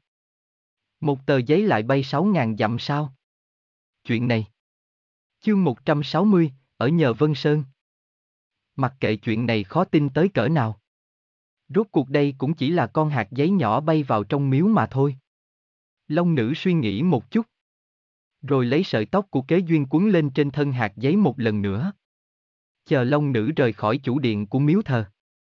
Cánh cửa lớn ngoài điện cũng tự động khép lại sau khi nàng bước ra ngoài. Tất cả những người trông coi và tạp dịch trong miếu gian thần đều chẳng có ai phát hiện ra. Long nữ trực tiếp từ miếu thờ đi xuống nước. Cũng không hóa thành rồng lặn xuống. Mà để nguyên dáng vẽ con người. Rất nhanh. Nàng đã xuôi theo dòng nước. Di chuyển dưới đáy sông. Trong lúc này, nàng vẫn cẩn thận quan sát con hạt giấy đang được bao bọc trong bong bóng khí. Đương nhiên, Long nữ không biết tên chính xác của nó chỉ có thể xem như một con chim nhỏ. Thậm chí, nàng còn muốn thử một chút xem con chim giấy này có thấm nước hay không. Nhưng vẫn kiềm nén lại được. Với tư cách là chính thần của thông thiên giang. Nàng di chuyển trong nước với tốc độ cực nhanh. Không lâu sau đã về tới thủy phủ. Nàng thu hạt giấy vào trong tay áo. Rồi bước nhanh về phía cung điện phía sau thủy phủ. Xuyên qua mấy cửa sân đi tới trước cửa một hang đá dưới nước có chút u ám. Ở đó có hai gã già xoa mặt xanh đang cầm kích. Đứng thẳng lưng. Bọn họ nhìn thấy long nữ tới đây. Ngay lập tức không người ông quyền. Đồng thanh chào hỏi. Giang thần nương nương. Ừ, ta muốn gặp phụ thân. Vâng. Giang thần nương nương xin cứ tự nhiên. Ứng nhược ly khẽ gật đầu với hai tên dạ xoa. Sau đó bước vào cửa hang đá. Nàng đi xuyên qua hang động tối tăm. Địa thế càng lúc càng đi xuống. Đi được khoảng 8-9 dặm. Rốt cuộc trước mắt cũng sáng sủa hơn. Đây là một hố cát trong hang động dưới nước rộng rãi. Chung quanh phát ra ánh sáng giống như những con sứa bơi lội. Một chân lông khổng lồ đang nằm sấp trên hố cát. Thỉnh thoảng râu rồng lắc lư một cái. Cha!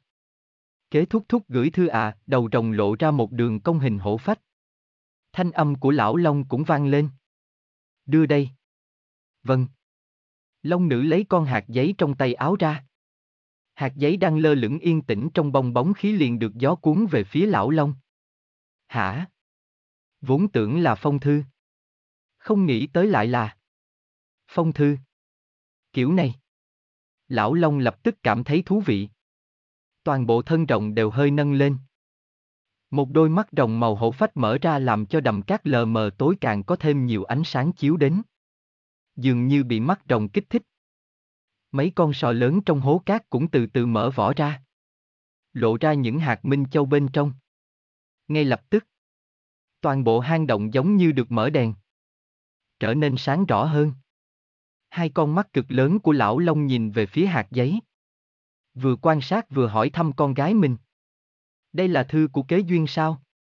Hắn xếp một con chim giấy. Còn có vật nào khác không? Thưa cha. Con chim giấy này bay vào tay tượng thần của con trong miếu. Ngoài ra cũng không có vật nào khác. Hơn nữa. Con chim này thật sự biết bay. Vừa nói. Long nữ còn vươn hai tay ra hai bên. Làm thành dáng vẻ vỗ cánh. Ý bảo con chim này không phải loại phi hành trên không bằng cách hấp thu pháp lực. Mà là bản thân nó có thể vỗ cánh bay lên. Bản chất hai chuyện này khác nhau đấy. Có ý tứ. Lúc nào kế duyên cũng mang lại kinh hỉ mà. Long nữ cũng khẽ cười. Nhắc nhở cha mình. Cha. Sợi tóc trên cổ con chim giấy có thuật pháp nào đó. Rút ra liền có thể xem được thư. Lúc trước con không hiểu tình hình. Không cẩn thận nên đã đọc rồi. Cha không trách tội chứ ạ, chân lông nhìn thoáng qua lông nữ. Sau đó thân rồng hiện ra ánh sáng trắng. Trong hư ảo. Thân rồng co rút lại. Hóa thành một ông lão. Chính là hình dáng con người của ứng hoành. Nhìn rồi thì thôi. Vừa nói chuyện. Lão Long nhẹ nhàng thò tay ra. Ngoắt một cái. Sợi tóc trên cổ hạt giấy liền tự động bay sang bên cạnh. Vào lúc này, con hạt giấy rõ ràng vỗ cánh hai cái. Mang theo bong bóng khí tới gần lão Long. Ôi! Thật sự có thể bay kìa. Lão Long khẽ cười. Vươn tay ra. Để cho con hạt giấy đang di chuyển khó khăn trong nước kia rơi xuống lòng bàn tay mình. Pháp lực còn sót lại trên hạt giấy truyền hết tất cả nội dung được ghi lại bằng dĩ vật truyền thần vào trong suy nghĩ của lão. Long nữ chăm chú quan sát nét mặt của phụ thân. Quả nhiên thấy được điều mình muốn thấy. Chầm râu bên trái của lão Long hơi nhếch lên. Vẻ mặt kinh ngạc nói. Trường xuyên phụ ở tịnh châu. Thứ này lại bay xa như vậy sao? Những lông dao khác thì không rõ ràng lắm. Nhưng nhà họ ứng thường xuyên ra ngoài tạo mây ban mưa. Vì vậy, bọn họ hiểu rõ địa lý sông núi của Đại Trinh. Cũng biết khoảng cách giữa hai nơi xa nhau như thế nào. Chỉ là kinh ngạc một câu xong. Sau đó lão Long cười cười với Long nữ. Được rồi. Ta đã nhận được thư. Con lui ra đi. Vâng. Con xin cáo lui. Nàng nhẹ nhàng làm lễ vạn phúc. Rồi rời khỏi đầm cát của phụ thân. Sau khi Long nữ rời đi. Lão Long lập tức cúi xuống nghiên cứu con hạt giấy trong tay. Nhìn không được chọc nó vài cái. Sau đó, lão cầm lên. Lật qua lật lại. Còn lắc lắc hai cái. Dường như muốn xem bên trong có cất dấu châu báu gì không. Quái lạ. Quái lạ. Chẳng lẽ nguyên nhân ở cọng tóc này sao? Lão lại tìm manh mối trên sợi tóc của kế duyên. Nhưng vẫn không nhìn ra được cái gì. Chỉ là vào lúc lão buông tay. Sợi tóc thuận theo dòng nước trôi ra ngoài cửa hang. Thoạt nhìn nó giống như nước chảy bèo trôi. Không có nhân tố lực lượng nào đặc biệt. Thế mà lại mang tới cảm giác trôi dạt rất kỳ lạ. Rất nhanh đã biến mất trong bóng tối. Lão Long nhíu mày. Do dự một chút nhưng cũng không giữ lại sợi tóc kia. Lão tiếp tục nghiên cứu hạt giấy trong tay. Sau khi lực lượng dĩ vật truyền thần biến mất, giống như hai cha con lần lượt. Đọc. thứ hai lần đã tiêu hao hết năng lượng của hạt giấy.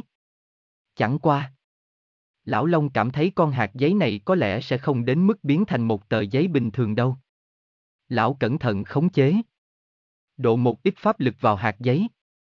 Quả nhiên. Con hạt giấy lại bắt đầu vỗ cánh. Thuận theo ràng buộc pháp lực của lão. Rốt cuộc. Lão cũng nhìn thấy hai chữ được giấu trên cánh hạt cũng hiểu rõ con chim giấy này được xếp như thế nào. Lão Long nhếch miệng. Lộ ra dáng vẻ tươi cười. Giống như việc lão phát hiện ra cách thức hoạt động của cái này chính là một thành tựu cực lớn vậy. Trên đỉnh Yên Hà của Vân Sơn. Kế Duyên cũng vừa ngắm mặt trời mọc vừa tu luyện lúc bình minh xong. Hắn đi xuống núi. Trở về Vân Sơn Quan. Tề Văn đã mặc quần áo chỉnh tề. Rửa mặt xong xuôi. Lúc này đang sửa lại đòn gánh và thùng nước ở cửa phòng bếp trong sân nhỏ. Cậu chuẩn bị xuống núi gánh nước. Vừa quay người liền thấy kế duyên đang đứng ở trong sân. Chào buổi sáng kế tiên sinh. Ngươi cũng ngủ dậy rồi à, con không nghe thấy tiếng mở cửa. Chào buổi sáng tiểu đạo trưởng Tề Văn. Thực ra, ta còn thức sớm hơn con một chút. Đã đi dạo bên ngoài một vòng rồi. Cậu bỗng nhiên hiểu ra. Đúng rồi. Kế tiên sinh. Trong bếp có nồi cháo. Chờ con gánh nước xong là có thể ăn. Con xuống núi đây. Có cần ta giúp một tay không? Kế duyên nhìn hai thùng nước này còn lớn hơn thùng nước của hắn ở tiểu cát trong phường Thiên Ngưu nữa. Muốn gánh lên núi chắc phải cố hết sức rồi. Đoạn đường từ Vân Sơn Quan đi xuống dưới núi có một đoạn không có bậc thang nào cả. Không cần. Không cần. Người ngồi chơi đi. Con chạy quen rồi.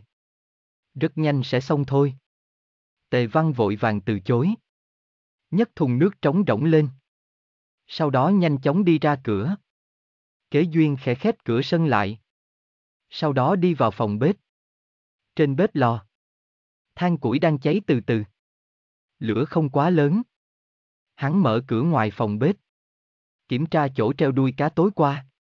Lúc này chỉ còn một sợi dây thừng bằng cỏ. Nhìn vết rách chắc hẳn là do động vật cắn nát rồi. Nhìn phong cảnh bên ngoài. Bây giờ Vân Sơn Quang đang nằm phía trên tầng mây mù trong núi. Ánh mắt hắn nhìn xuống.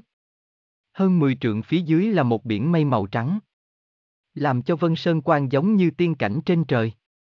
Có lẽ cũng vì vậy mà những đạo sĩ xây dựng Vân Sơn Quang ở đây. Ở thế giới này, cuộc sống của dân chúng bình thường trôi qua rất chậm. Trên Vân Sơn quan càng như vậy. Nhất là khi Thanh Tùng đạo trưởng ngủ say mấy ngày cũng không cần xuống núi xem tướng số. Chẳng qua. Tề Văn thực sự lo lắng cho thân thể của sư phụ mình. Đến ngày thứ ba. Cậu lại hỏi kế duyên lúc nào Thanh Tùng đạo nhân sẽ tỉnh. May mà vào sáng sớm ngày thứ năm. Tề Tuyên đã tự tỉnh lại. Lúc này. Tề Văn đã xuống núi gánh nước. Còn kế duyên đang ngồi trên bộ đoạn dưới bức tinh tú đồ ở trong chủ điện. Tay hắn cầm. Ngự luận. Linh khí trong núi mờ mịt như sương mù mà mắt thường không thể nhận ra. Hội tụ lại xung quanh Vân Sơn Quan. Vào thời khắc này, hắn cũng nhận ra Thanh Tùng đạo nhân đã tỉnh lại. Tề Tuyên cảm thấy mình có một giấc mơ rất dài. Nội dung lộn xộn không thể nhớ nổi. Khi y mở mắt ra, đập vào mắt chính là trần nhà. Trời đã sáng rồi. Vậy mà ta lại uống rượu say. yên ngủ năm ngày. Nhưng không có chút cảm giác mê man. Ngược lại cảm thấy tinh thần rất sảng khoái. Thanh Tùng đạo nhân vén chăn rồi bước xuống giường. Y duỗi lưng một cái. Gân cốt trên người kêu răng rắc. Cảm thấy cả người thoải mái. Chỉ là miệng rất khô rác. Y đi tới trước bàn. Ước lượng ấm trà bằng gốm cỡ lớn trong phòng. Có lẽ bên trong chứa đầy nước trà. Tề tuyên rót cho mình một chén. Uống một hơi hết sạch. Nhưng y cảm thấy mình vẫn còn khát. Liền rót thêm một chén nữa. Cuối cùng. Tề tuyên cầm lấy cả ấm trà mà uống. Ưng ực ưng ực một hơi hết sạch nước trà trong ấm. Phu. Thật thoải mái. Kế tiên sinh cho ta uống rượu gì vậy? Nói tới đây. Bỗng thanh tùng đạo nhân nghĩ tới cái gì? duỗi bàn tay trái của mình ra rồi cẩn thận quan sát. Vẻ mặt từ ngốc trệ dần trở nên hoảng sợ. Chẳng lẽ, tiên nhân thật sự có thuốc trường sinh bất lão sao? Càng khiến Tề Tuyên cảm thấy huyền bí không thôi chính là y có thể nhìn ra tuổi thọ của mình. Vậy mà không chết sớm nữa. Nhưng những thứ khác thì không nhìn ra. Y cảm giác như đang ngắm hoa trong sương mù. Dù không nhìn rõ nhưng biết đó là một cảnh rất đẹp. Ha ha ha. Theo kế mổ biết. Trên đời này không có thuốc trường sinh bất lão đâu. Chào buổi sáng thanh tùng đạo trưởng. Ở cửa truyền đến lời nói bình thản. Chính trực của kế duyên. Khiến cho thanh tùng đạo nhân đang ngẩn người cũng phục hồi lại tinh thần. Y quay đầu nhìn ra cửa. Lộ ra dáng vẻ cảm kích. Cười nói. Chào buổi sáng kế tiên sinh. Tối hôm qua bần đạo không uống rượu nổi. Khiến ngài chê cười rồi. Tối qua. Ngài nghỉ ngơi nơi này thấy ổn chứ? Rất tốt. Kế duyên cười hắc hắc. Ta còn muốn mượn nơi này để tu hành một chút. Không biết đạo trưởng có đồng ý không? Có gì mà không được chứ? Ta còn cầu mà không được đây. Ngài cứ ở lại ha ha ha. Khi biết mình sẽ sống lâu hơn. Dù là ai thì tâm tình cũng sẽ rất tốt. Thanh Tùng đạo nhân chỉ cảm thấy hít thở không khí càng thêm tươi mát thoải mái. giống như mỗi bộ phận trong ngũ tạng đều trơn bóng vậy.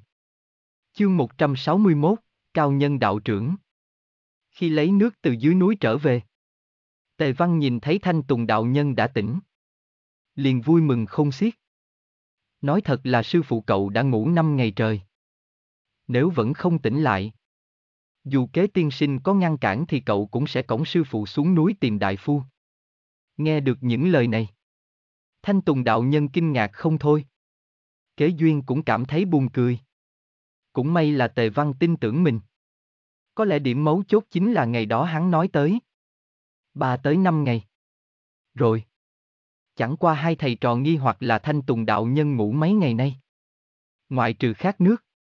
Thế mà cũng không quá đói bụng. Tuy trưa hôm đó ăn cơm khá nhiều. Vào một buổi chiều hơn 10 ngày sau. Thanh Tùng đạo nhân đang tập luyện dưỡng sinh công trong đạo quán. Kế duyên kéo một tấm bồ đoàn trong chủ điện. Ngồi xếp bằng ở cửa đại điện đọc. Ngự luận. Tề văn mang theo hơn 10 văn tiền. Cổng sọc xuống núi.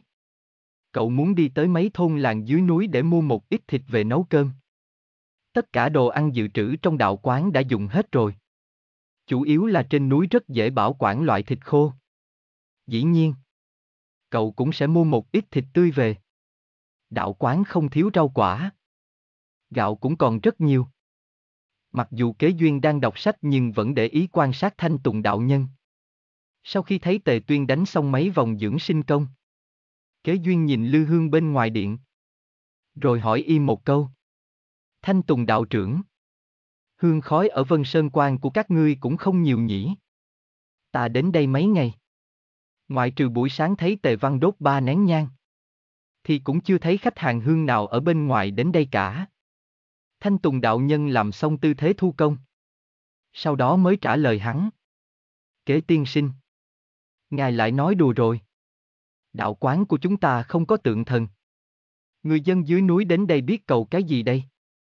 Thỉnh thoảng cũng có một gia đình giàu có nào đó muốn xin tên cho con cháu trong nhà. Sẽ tới đây lễ bái thiên địa một chút. Cũng coi như hương khói trong đạo quán cường thịnh rồi. Tề Tuyên nói xong lại bổ sung một câu. Nếu không thì vì sao ta già như vậy còn phải xuống núi làm thầy tướng số chứ? Chẳng phải vì muốn kiếm chút tiền công xem quẻ để duy trì đạo quán sao? À, đạo trưởng nhọc lòng rồi. Kế duyên hàm ý sâu xa. À, một tiếng. Khiến cho thanh tùng đạo trưởng có chút lúng túng. Thỉnh thoảng cũng là trong lòng ngứa ngáy. Thỉnh thoảng thôi. Kế duyên cũng không đi sâu vào chuyện này nữa. Mà rất nghiêm túc cùng Tề Tuyên tiếp tục thảo luận đề tài lúc nãy. Đạo trưởng. Trong miếu của các ngươi giống như vô thần. Theo lý mà nói cũng không cần phải dân hương mỗi ngày. Vậy hương khói này cho ai vậy? Loại đàn hương này cũng tốn tiền đấy. Cho ai sao? Tất nhiên là cho Chu Thiên tinh đấu. Cho thiên địa rồi. Thanh Tùng đạo trưởng suy nghĩ một lát. Từ nhỏ, y cũng giống như Tề Văn. Vẫn luôn đi theo sư phụ du lịch bên ngoài. Thần miếu chùa chiền gì cũng thắp hương. Thậm chí, y còn gặp một số đạo quán cung phụng tượng thần. Vậy một nơi vô thần như Vân Sơn Quan thì hương khói cho ai? Chính là cho thiên địa rồi. Nhưng thiên địa nơi này cũng không nhận hương khói của các ngươi đâu. Kế duyên ngẩng đầu nhìn sang. So với mắt thịt người phạm như tề tuyên. Hắn có thể nhìn thấy. Hương khói. Chân chính đấy. À, thiên địa không nhận sao? Thanh Tùng đạo nhân sửng sốt một chút. Muốn nói cái gì đó nhưng lại không biết bắt đầu từ đâu. Dù sao người ngồi trước điện cũng là kế tiên sinh. Chẳng qua. Y cũng chỉ kinh ngạc trong giây lát mà thôi. Không nhận thì không nhận. Thiên địa không nhận nhưng ta cũng không thể bất kính được. Đạo trưởng nói rất có lý. Kế duyên ông sách. Chắp tay với thanh tùng đạo nhân.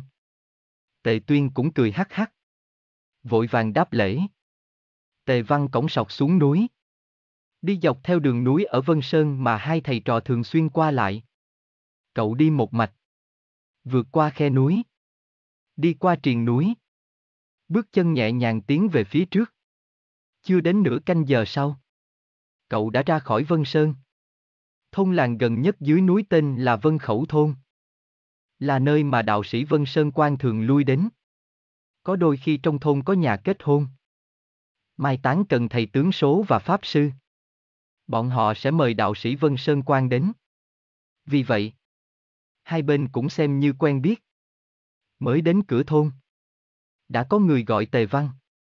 Tiểu đạo trưởng Tề Văn xuống núi sao? Hôm nay Thanh Tùng đạo trưởng không tới à, đúng vậy. Sư phụ ta ở trên núi rồi. Ta vào thôn mua chút thức ăn. À, bữa nào bà vợ ta sinh em bé. Mời Thanh Tùng đạo trưởng tính toán cho một chút nhé. Được được. Tề Văn nói chuyện với người này vài câu. Tiến vào trong thôn càng đông người hơn. Một vài ông lão quen mặt cũng sẽ chào hỏi Tề Văn một tiếng. Mấy người trẻ tuổi đã từng chơi đùa với Tề Văn lúc nhỏ cũng rất nhiệt tình. Theo thường lệ, cậu đi đến nhà trưởng thôn và mấy nhà quen biết. Dùng hơn 10 văn tiền cũng có thể mua được khá nhiều đồ. Ở trong nhà của một lão nông. Lúc này có cô gái trẻ măng chạy tới tặng cho Tề Văn mấy quả trứng gà hay gì đó. Khiến cho cậu xấu hổ đỏ bừng mặt. Ha ha ha ha. Tiểu đạo trưởng Tề Văn. Nghe nói đạo sĩ các cậu vẫn có thể lập gia đình đúng không? Ông lão đang giúp cậu giết gà cười ha hả. Hỏi chuyện tiểu đạo sĩ. Bây giờ Tề Văn đã trưởng thành. Quả thực khuôn mặt có thể xem là khôi ngô. Cậu luyện tập dưỡng sinh công. Quanh năm lại đi theo sư phụ mình vào Nam ra Bắc không nói. Thỉnh thoảng còn bị đánh nên cơ thể rất trắng chắc. Vì vậy, cậu cũng rất được các thôn nữ hoan nghênh. Đại. Đại khái là vậy. Hắc hắc hắc. Nếu tiểu đạo trưởng muốn hoàn tục ở rễ. Với khí lực và dáng vẻ này.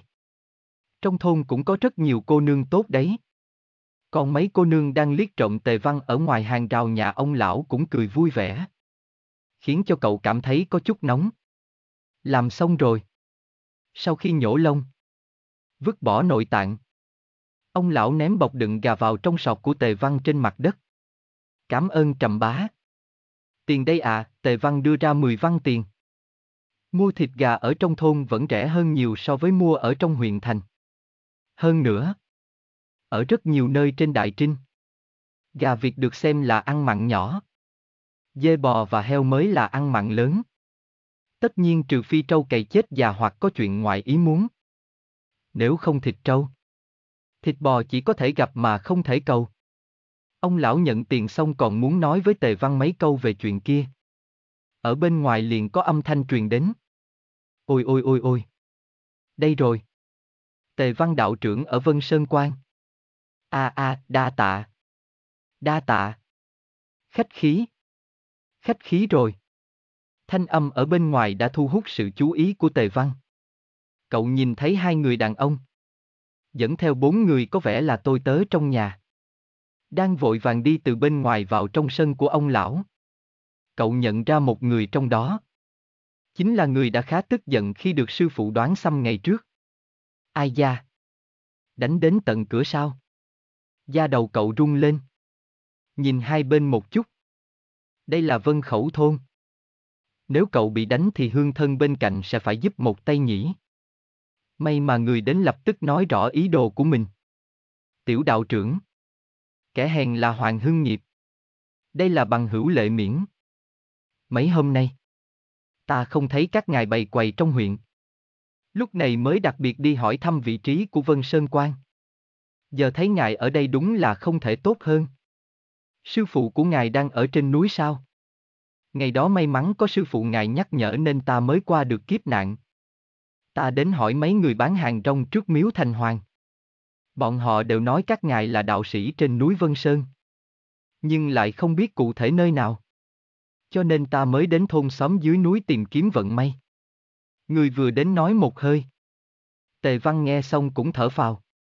Không phải đến gây chuyện là được rồi. Sư phụ ta tất nhiên ở trên Vân Sơn Quan rồi. Ách! Vì thiện nam có cần ta gọi sư phụ xuống núi gặp ngài không? Không cần. Không cần. Chúng ta lên quý quan bái phỏng là được.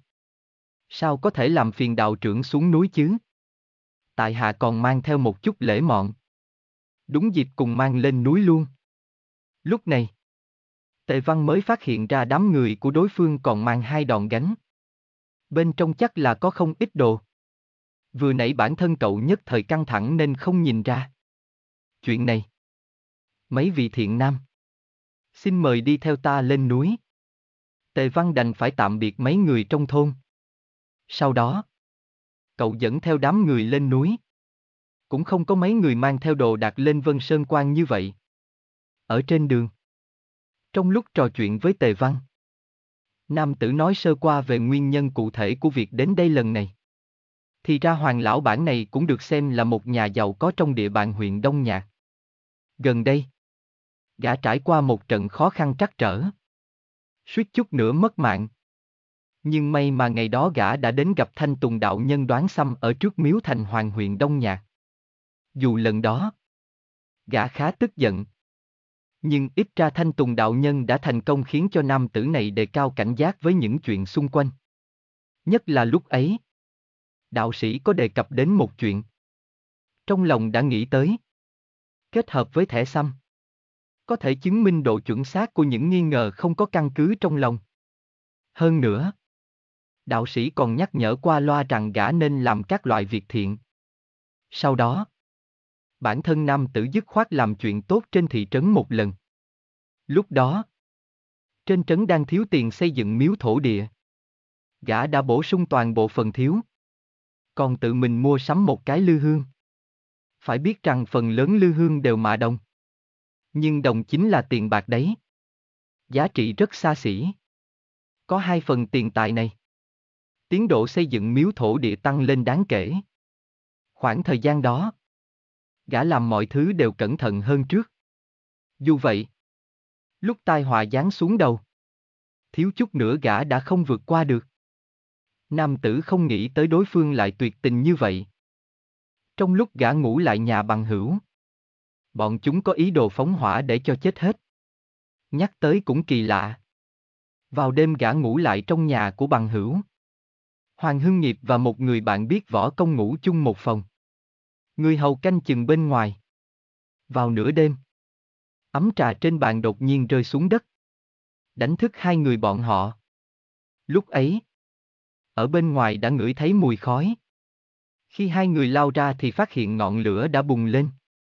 Hai người hầu của nhà họ hoàng canh bên ngoài thì một người hôn mê. Một người mất tích. Hai người bọn họ vội đánh thức vợ con của bằng hững. Cùng khiêng người hầu của nhà họ hoàng đi. Sau đó mới tìm người dập lửa. Cuối cùng, tuy lửa không được dập tắt, nhưng không có ai bị thương. Từ đó về sau, Hoàng Hưng Nghiệp và bằng hữu mình đi báo quan. Vì gã đã có suy nghĩ trong lòng. Lại có công tài trợ tiền tài cho huyện. Nên huyện Nha cũng dốc sức phá án và bắt người. Chuyện này khiến cho huyện Đông Nhạc và Mậu Tiền trấn náo loạn một hồi. Sau trận hỏa hoạn kia, lúc đầu Hoàng Hưng Nghiệp chưa phát hiện ra. Về sau càng ngày càng cảm thấy ấm trà rơi vỡ kia chính là tín hiệu cứu mạng. Gã càng nghĩ càng mơ hồ. Nhà bằng hữu cũng không nghèo. Mặt đất trong phòng và cái bàn cũng bốn bề yên tĩnh. Ấm trà không thể vô duyên vô cớ rơi xuống được. Vì vậy, gã cho rằng có quỷ thần tương trợ. Chuyện này cũng đúng lúc gã quyên tặng cho miếu thổ địa kia. Hôm nay, Hoàng Hưng Nghiệp đến cảm ơn. Cũng không phải là chuyện đã giải quyết xong. Ngược lại còn quỷ dị. Khó giải quyết hơn trước. Lúc này, gã mới nghĩ đến việc tìm đạo sĩ xem bói ngày đó. Hoàng Hưng Nghiệp mới nghe ngóng tình hình của đạo sĩ tướng số kia ở huyện Đông Nhạc thật tốt. Cuối cùng, gã phát hiện mặc dù đạo sĩ này xem bói có đôi khi sẽ không được chào đón. Thậm chí còn bị đánh. Nhưng xem rất chuẩn. Ngay cả người nhà của những người đã đánh y cũng phải thừa nhận điều này. Kỳ quái chính là đạo sĩ kia bị đánh mấy lần nhưng vẫn mở quầy hàng không biết mệt mỏi. Với người thông minh như Hoàng Hưng Nghiệp cũng thấy có chút khác thường. Một đạo sĩ ở trong núi có bản lĩnh. Hành vi quái dị như vậy. Không phải chính là cao nhân lánh đời sao? Chương 162, Nhân họa chuyển biến. Một canh giờ nhanh chóng trôi qua. Lúc này đoàn người vẫn chưa đến được đỉnh Yên Hà mà còn đang đi lại trong núi Vân Sơn. So với lúc Tề Văn đến thì chậm hơn không ít. Tề Văn sớm đã quen thuộc đường đi nước bước của Vân Sơn, nhưng đối với Hoàng Hưng Nghiệp thì đi đường núi vô cùng khó khăn. Bốn tên người hầu cũng không quá thân cận. Nhất là thời điểm chọn gánh đồ. Cũng chỉ có lệ miễn còn tốt một chút. Lệ miễn tốt xấu gì cũng là võ giả. Tuy rằng y không tính là cao thủ giang hồ, nhưng ở huyện Đông Nhạc cũng có chút mặt mũi rồi. Các huyện nha kia cũng có huyện úy mạnh mẽ hơn lệ miễn. Nhưng các bộ đầu. Bộ khoái khác nếu không dốc sức liều mạng thì cũng không theo kịp y, nhìn bước đi như bay của tề văn đằng trước rồi nhìn lại cái sọt chứa đồ phía sau lưng mình. Lệ miễn không khỏi cảm thán một câu. Tiểu đạo trưởng này thực sự không biết võ công sao. Khí lực này mà nói do quen đi đường núi thì cũng có chút khoa trương rồi. Hoàng Hưng Nghiệp nhìn mấy người hầu chọn đòn gánh. Bốn người gánh hai bộ đòn gánh. Giỏ ở dưới đòn gánh cũng không lớn. Chỉ chứa gấm, rượu và bánh ngọt. Theo sức nặng của những đồ vật đó mà nói thì không bằng sọt của tề văn vì trong cái sọt của cậu chứa thịt khô. Trứng gà. Còn có nông sản do người dân tặng như bí đỏ. Khoai sọ. Các loại đồ vật đó đều khá nặng. Phu. Phu. Không kỳ quái. Không kỳ quái. Càng như vậy. Phù, Vân Sơn quan này. Đáng ra. Đáng ra phải đến rồi chứ. Phu. Tuổi của Hoàng Hưng Nghiệp hơi lớn.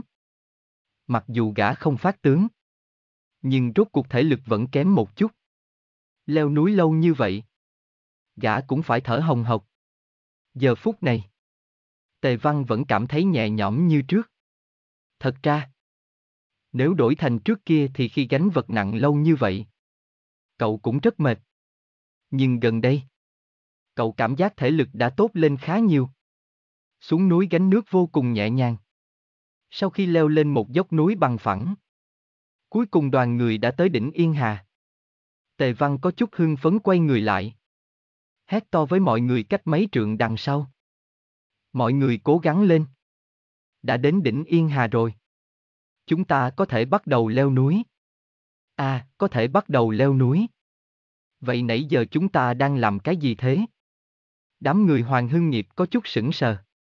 Bọn họ vốn tưởng rằng sẽ nhanh chóng đến được Vân Sơn Quan nhưng không nghĩ sẽ nghe được một câu nói như vậy. ngẩng đầu nhìn đỉnh Yên Hà cao ngất. Mọi người vô thức nuốt ngụm nước miếng. Không tính độ cao của dốc núi này. Cũng không để ý tới các con số gì mà độ cao so với độ cao mực nước biển. Chỉ nhìn một cách đơn thuần từ nơi Tề Văn đặt chân thì đỉnh Yên Hà cao chừng 150 trượng. Vị trí Vân Sơn Quan ước chừng nằm ở độ cao 100 trượng. Tuy rằng trên thực tế cũng không thể xem là rất cao nhưng độ dốc thì lớn hơn rất nhiều. Trong quá trình vừa leo núi vừa nghỉ ngơi. Chờ tới lúc cách Vân Sơn Quan không xa thì Hoàng Hưng Nghiệp cùng mấy tên hậu đã mệt mỏi không chịu được rồi. Ngay cả lệ miễn vẫn luôn đỡ Hoàng Hưng Nghiệp cũng đổ mồ hôi đầy người. Tề Văn dùng ống tay áo lau mồ hôi trên trán. Hưng phấn hô to về phía bên trong đạo quán. Sư phụ! Kế tiên sinh khách tới rồi. Tề Văn hét to như vậy. Thanh Tùng đạo nhân cùng kế duyên đã sớm nghe được nên cùng nhau đi ra. Ha ha a, mấy vị thiện nam đường xa mà đến. Không có đón tiếp từ xa. Không có đón tiếp từ xa. Mời mời mời. Mau mời vào trong Vân Sơn quan nghỉ ngơi. Thanh Tùng đạo nhân cùng kế duyên tiến lên trước chào hỏi. Sau đó tiếp nhận đòn gánh từ những người hầu. Rồi chỉ dẫn bọn họ đi vào bên trong. Nơi đây cũng không phải là địa phương không thu lễ vật. Nhìn bên trong. Kế duyên cùng hai đạo sĩ đã dời mấy băng ghế từ phòng bếp và hai gian phòng ra ngoài. Để cho mấy người này nghỉ ngơi tại phòng bếp. Ngoài trừ nước trà của đạo quán. Đám người Hoàng Hưng Nghiệp còn mang tới một ít điểm tâm. Trực tiếp lấy ra cho mọi người cùng ăn. Lúc này thể lực tiêu hao cực lớn. Coi như mình mang quà đến tặng. Cho nên mọi người cũng không khách khí. Đợi đến lúc mấy vị khách nghỉ ngơi một hồi. Nhất là Hoàng Hưng Nghiệp đã bình phục hơi thở. Thanh Tùng đạo nhân mới hỏi thăm ý đồ đối phương đến đây. Không biết mấy vị thiện nam đến Vân Sơn Quan của ta làm gì? Nghe Tề Văn nói là đến để cảm ơn phải không? Quà tặng này không khỏi có chút nặng. Hoàng Hưng Nghiệp sửa sang lại suy nghĩ một chút. Lý do đến đây lần này với lý do lúc trước nói với Tề Văn có chút khác biệt. Gã mở miệng lại là cầu cứu. Thanh Tùng đạo trưởng. Ngươi nhất định phải cứu ta. Ta gặp phải phiền toái lớn rồi. Hoàng Hưng Nghiệp vừa khẩn cầu. Vừa không người đứng lên liên tục chắp tay. Hoàng lão bản. Ngươi. Đến cùng đã xảy ra chuyện gì? Thanh Tùng đạo nhân cảm thấy ngạc nhiên. Vội vàng đứng dậy đỡ lấy gã. Ngay cả kế duyên ngồi gần ở cửa phòng bếp cũng nhíu mày. Đạo trưởng. Việc này hoàng mổ trước phải cảm ơn người. Ngày đó người thay ta đoán xăm đã cứu ta một mạng. Hoàng Hưng Nghiệp nói hết đầu đuôi ngọn ngành sự tình đã nói qua một lần với Tề Văn trước lúc trên đường.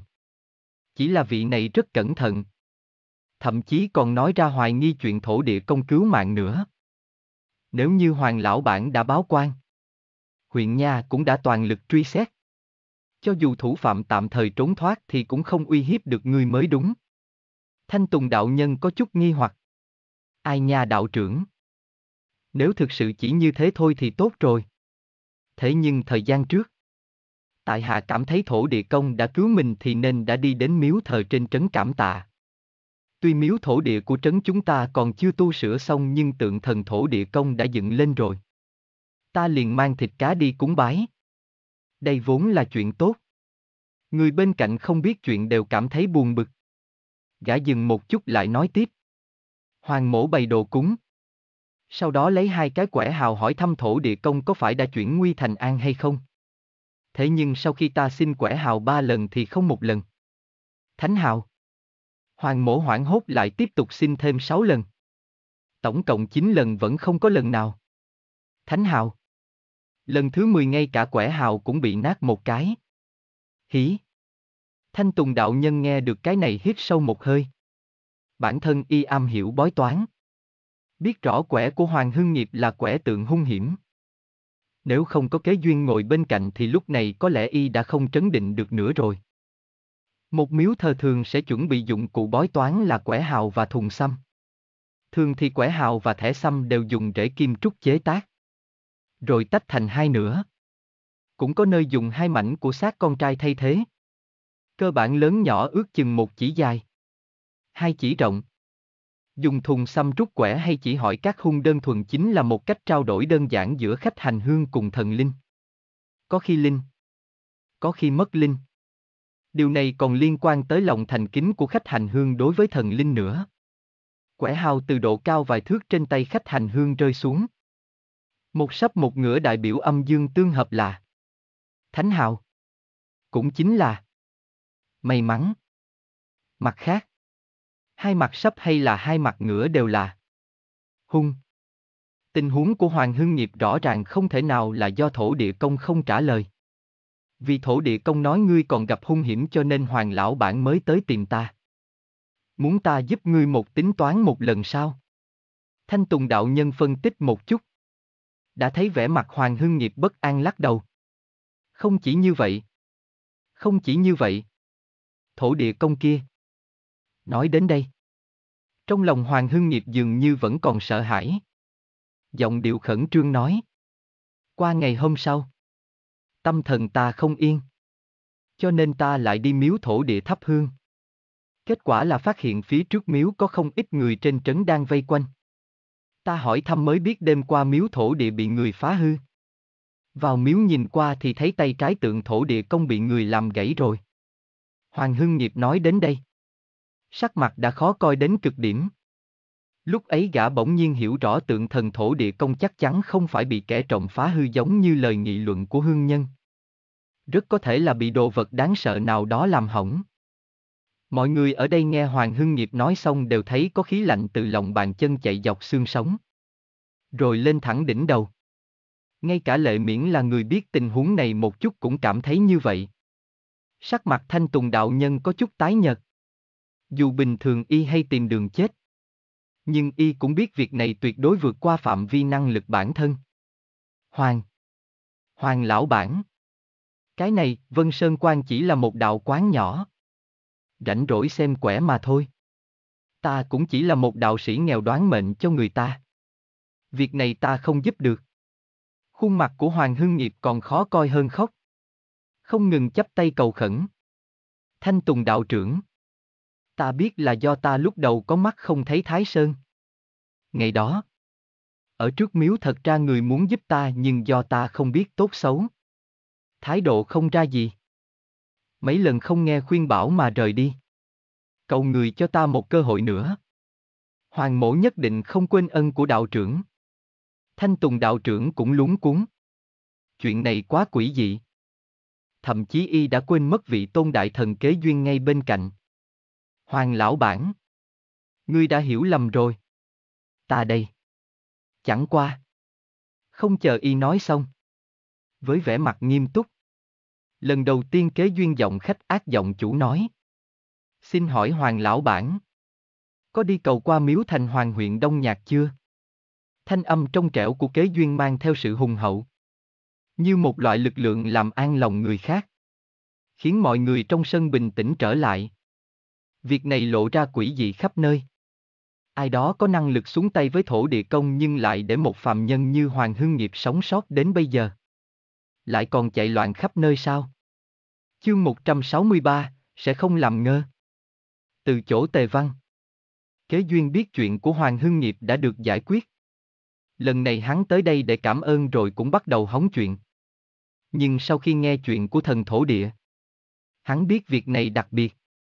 Nhìn qua cứ nghĩ đơn giản là tai họa do con người gây ra nhưng thực ra lại có thể liên quan đến yêu tà.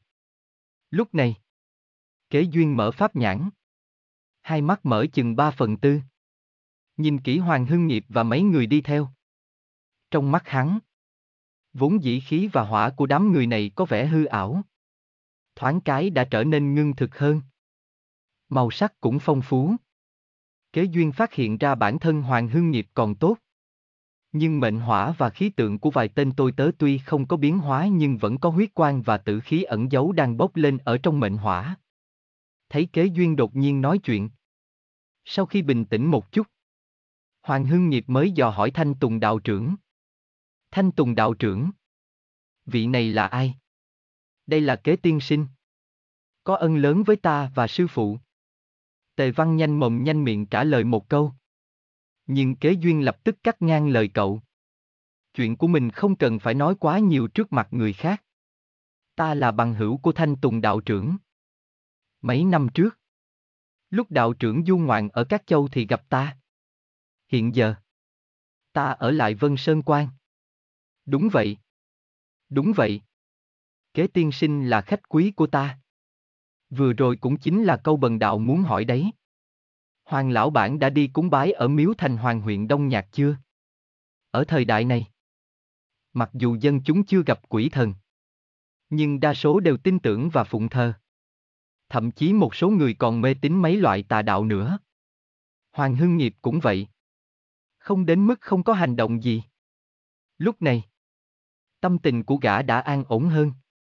Cũng không còn thở dốc kích động như lúc nãy nữa. Gã lấy lại bình tĩnh rồi mới trả lời. Đương nhiên là tại hạ đã đến miếu thành hoàng huyện Đông Nhạc. Ở đó, ta cũng tìm hiểu được thanh tùng đạo trưởng là đạo sĩ Vân Sơn. Ta vừa bỏ tiền bạc. Sai người đi sửa sang lại miếu thổ địa ở quê. Vừa mang theo đầy đủ các loại cống phẩm cung kính dân lên cho lão thành hoàng. Sau đó, ta mới lên đường tìm đến Vân Sơn. Kế duyên thấy Hoàng Hưng Nghiệp này thực sự rất có đầu óc. Lại chu đáo. Lúc này hắn mới nhìn Thanh Tùng đạo nhân. Điềm đạm nói. Thanh Tùng đạo trưởng. Ta nhớ ngươi từng nói. Thổ địa công nào chưa được lập miếu thì có lẽ đạo hạnh thần đạo cũng sẽ không cao. Ít nhất là chưa nhận được hương hỏa để tu thành chính thần đúng không? Trong lòng hắn cũng đang suy nghĩ. Vì thổ địa công kia cũng không phải thực tu câu thông với địa mạch. Lấy lực lượng thành thần. Đâu? nếu không thì lão cũng sẽ không tin tưởng Hoàng Hưng Nghiệp mấy lần chỉ vì gã hiến tế rất nhiều cho miếu thờ. Chẳng qua. Rõ ràng thổ địa công cũng không nghĩ đến những chuyện phát sinh phía sau. Thanh Tùng đạo trưởng sửng sốt một lúc rồi nghĩ thầm. Ta nói chuyện này bao giờ? Nhưng kế duyên nghiêm túc hỏi mình như vậy. Tề tuyên cũng kịp phản ứng. Khục. Đúng là như vậy. Kế tiên sinh nói không sai. Kế duyên gật đầu xem ra ta nhớ không nhầm rồi. Xét theo quan điểm của kế mổ. Nếu tượng thần của thần thổ địa bị người phá hư, tất nhiên sẽ có người tra xét. Nếu thật sự có yêu tà nhúng tay vào. Dù sao mậu tiền trấn cũng thuộc địa bàn của huyện Đông Nhạc. Cho dù hoàng lão bản không cúng bái cống phẩm thì chỉ cần thành hoàng đại nhân biết việc này. Ngài ấy cũng sẽ không làm ngơ. Đạo trưởng thấy ta nói vậy đúng không? Thanh Tùng đạo nhân liên tục gật đầu. Đúng. Đúng. Đúng. Kế tiên sinh nói rất đúng. Như vậy là tốt nhất. Như vậy là tốt nhất. Hoàng Hưng Nghiệp nghe xong cũng cảm thấy yên tâm một chút.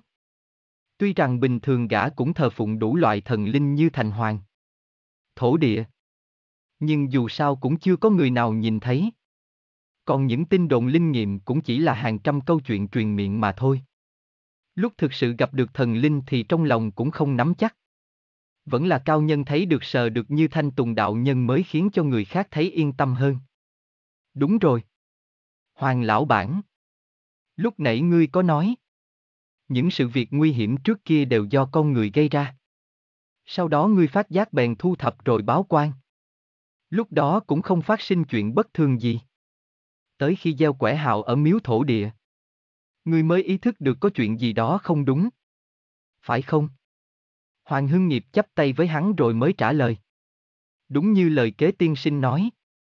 Trước đây ta cứ tưởng kiếp nạn đã qua. Nên mới dâng cống phẩm lên cho thần thổ địa đấy. Kế tiên sinh là bạn bè của cao nhân Thanh Tùng đạo trưởng.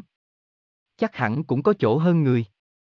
Ít nhất nhìn vào vẻ trấn định và khí độ này liền biết hắn không đơn giản. Kế duyên nhìn Thanh Tùng đạo nhân. Y cũng vô thức liếc nhìn lại. Đạo trưởng. Ngươi cũng biết chuyện này có chút kỳ lạ đúng không? Đúng vậy. Như kế tiên sinh đã nói. Bần đạo cũng nghĩ như vậy. Hơn nữa. Hoàng lão bản có thể sống sờ sờ để đi đến đây quả là vận số không tệ. Thanh Tùng đạo nhân không chỉ phụ họa theo kế duyên. Mà lúc này y cũng bắt đầu nhìn kỹ tướng mạo. Sắc mặt của Hoàng Hưng Nghiệp. Hơn nữa kết hợp với chuyện gieo quẻ đã được miêu tả từ trước. Y cũng tính ra một chút chuyện quái dị. Hoàng lão bản. Ngươi có thể nói ngày sinh tháng đẻ của mình cho bần đạo không? Có kế duyên đứng một bên. Dũng khí của Thanh Tùng đạo nhân cũng bắt đầu nổi lên. Nghe thấy Thanh Tùng đạo trưởng muốn xem tướng số cho mình. Tất nhiên Hoàng Hưng Nghiệp cũng không lãng tránh nữa. Vội vàng nói nhỏ ngày sinh của bản thân cho y, Thanh Tùng đạo nhân nghe xong bát tự của đối phương. Trong lòng suy nghĩ kỹ càng. Thỉnh thoảng bấm đốt ngón tay. Phối hợp với tính toán thiên can địa chi cùng với quy luật của những vì sao. Kế duyên tò mò nhìn qua. Đám người Hoàng Hưng Nghiệp hồi hộp chờ đợi. Thực ra, Hoàng Hưng Nghiệp nhà to. Nghiệp lớn. Từ nhỏ đến giờ. Gã đã xem tướng số không biết bao nhiêu lần rồi. Kết quả cơ bản giống nhau. Lúc nào cũng mệnh tốt phúc dày các kiểu. Một lúc lâu sau. Thanh Tùng đạo nhân mới đối chiếu kết quả với tướng mạo hiện giờ của Hoàng Hưng Nghiệp. Đoạn mở miệng nói. Trong số mệnh, phúc duyên của Hoàng lão bản thâm hậu. Lại có tổ tông che chở. Chỉ cần bản thân ngươi dám làm dám chịu lại không lười biếng. Nửa đời trước thuận buồm xuôi gió. Lúc tuổi già cũng không quá mức âu sầu. Chỉ là, Hiện giờ hoàng lão bản có sao kế đô chiếu mệnh. Phúc phần vốn dĩ thâm hậu nên cũng không xảy ra đại sự. Nhưng hôm nay gặp việc này. Họa do con người lại chuyển thành do yêu tà. Đây chính là tử kiếp. Sắc mặt của gã khó coi hơn chút. Kiên nhẫn đợi thanh tùng đạo nhân nói xong. Mặc dù mệnh của ngươi tốt. Nhưng mệnh số của một người cũng không phải hình thành xong liền không thay đổi. Học thức. Sự từng trải. Làm việc thiện hay ác cùng với những nhân tố bên ngoài đều ảnh hưởng lên mệnh số. Hôm nay, dường như mệnh của ngươi có dấu gì khí. Vậy mà giống như vật sống. Lần trước ta xem vẻ mặt của ngươi cũng hơi khác biệt với lần này. Chẳng qua là giờ có thêm ngày sinh tháng đẻ nên ta mới tính kỹ một chút. Nghe Thanh Tùng Đạo Nhân nói. Những người khác ngoài hội họp ra thì cũng không hiểu lắm. Nhưng kế duyên lại nghe rất nghiêm túc đồng thời dùng pháp nhãn quan sát tỉ mỉ Hoàng Hương Nghiệp. Lúc gã nghe Thanh Tùng đạo nhân nói chuyện thì cảm xúc cũng được thể hiện ra. Khí tượng cũng bắt đầu thay đổi. Lại có một khí tức kỳ lạ ẩn giấu bên trong khí tượng như một con cá chạch. Nếu hắn không cẩn thận quan sát thì rất dễ bỏ qua. Thanh Tùng đạo nhân chỉ là thầy tướng số. Dĩ nhiên đã nói xong những điều y muốn nói. Hoàng lão bản chỉ cần vượt qua kiếp nạn của năm nay. Sang năm ngươi sẽ có sao thái âm chiếu mệnh. Hơn nữa áp lực của năm nay sẽ hình thành phản lực. Chỉ cần điều kiện tiên quyết là trong lòng dám nghĩ, dám làm thì may mắn sẽ ập đến. Mọi chuyện đều có thể thành công. Trên mặt Hoàng Hưng Nghiệp cố nặng ra vẻ tươi cười. Thế nhưng vẫn phải vượt qua cái nạn này mới được đấy. Kế duyên nghe vậy. Lại ra vẻ hỏi thăm một câu. Thanh Tùng đạo trưởng. Ngươi đã từng nói với ta về một ít chuyện yêu ta. Còn nói có một vài yêu tà rình mò khí số đặc thù của những người có vận mệnh mạnh mẽ. Yêu tà sợ vận số đó sẽ chạy trốn. Nên mới dẫn dắt. Bố trí cho người ta rơi vào bẫy. Chuyện này phải chăng có chút giống như vậy nhỉ? Nghe hắn nói vậy. Thanh Tùng đạo nhân cũng chỉ có thể gật đầu. Kế tiên sinh nói đúng. Giống. Quả thật rất giống đấy. Hắn gật đầu. Tiếp tục nói. Trước đây, kẻ gian phóng hỏa kia đoán chừng cũng chưa hẳn muốn thiêu chết hoàng lão bản. Chẳng qua nó chỉ muốn hoàng lão bản bị dày vò. Lại muốn mưu cầu cái gì đó. Nếu người chết, đèn tắt, vận số tan cũng không được. Đúng không đạo trưởng? Đúng vậy. Đúng như kế tiên sinh nói. Nhưng làm cho người ta bị dày vò thảm hại hơn. Thanh Tùng đạo nhân phụ hòa theo cũng không quên nói ra suy nghĩ của mình. Kế duyên lập tức bổ sung một câu. Trong nhân gian, có một vài yêu ma tà môn ẩn núp đâu đó. Quả thật có chút quỷ dị. Nếu bọn chúng có đạo hành sâu hơn một chút, giảo hoạt hơn một chút cũng không phải là không thể luồn lách qua những sơ hở của thần linh. Lần này, xem ra bọn chúng sẽ không bỏ qua cho hoàng lão bản đâu. Thấy hoàng hưng nghiệp trục cổ một cái sắc mặt càng ngày càng xấu. Kế duyên bèn trấn an gã một câu. Nhưng hoàng lão bản yên tâm. Lúc này ngay cả khi thành hoàng không làm được gì thì thanh tùng đạo trưởng nhất định sẽ không làm ngơ đâu. Đúng không đạo trưởng? Đúng vậy. Đúng vậy. Kế tiên. Ớ, tề tuyên mới nói nửa câu. Đột nhiên kịp phản ứng. Y sững sờ nhìn kế duyên. Lại thấy hắn gật đầu trấn an. Lúc này y mới miễn cưỡng nói tiếp. Đúng vậy. Tuy đạo hạnh của bần đạo nông cạn. Nhưng nếu ngài đã cầu tới cửa. Ta cũng sẽ không mặc kệ. Hoàng Hưng Nghiệp kinh ngạc vui mừng không thôi. Lần này gã lên núi đau khổ cầu xin cũng chỉ chờ những lời này. Gã vội vàng đứng dậy chắp tay cảm ơn lần nữa. Sau lưng. Đám người hầu và lệ miễn cũng hành lễ. Đa tạ thanh tùng đạo trưởng đã giúp đỡ. Đa tạ Thanh Tùng đạo trưởng đã giúp đỡ. Nếu lần này Hoàng Mổ có thể vượt qua kiếp nạn này, nhất định sẽ báo ân. Chương 164, Thổ địa ẩn nấp. Sắc trời đã dần trở tối. Lúc này đám người Hoàng Hưng Nghiệp cũng không thể xuống núi được nữa rồi. Thanh Tùng đạo nhân lại xuống bếp nấu ăn lần nữa. Y dùng nguyên liệu nấu ăn do Tề Văn mua về và một số thứ Hoàng Hưng Nghiệp mang đến chừng đó đủ để làm một bữa tối muộn cho đám người bọn họ ăn cùng nhau.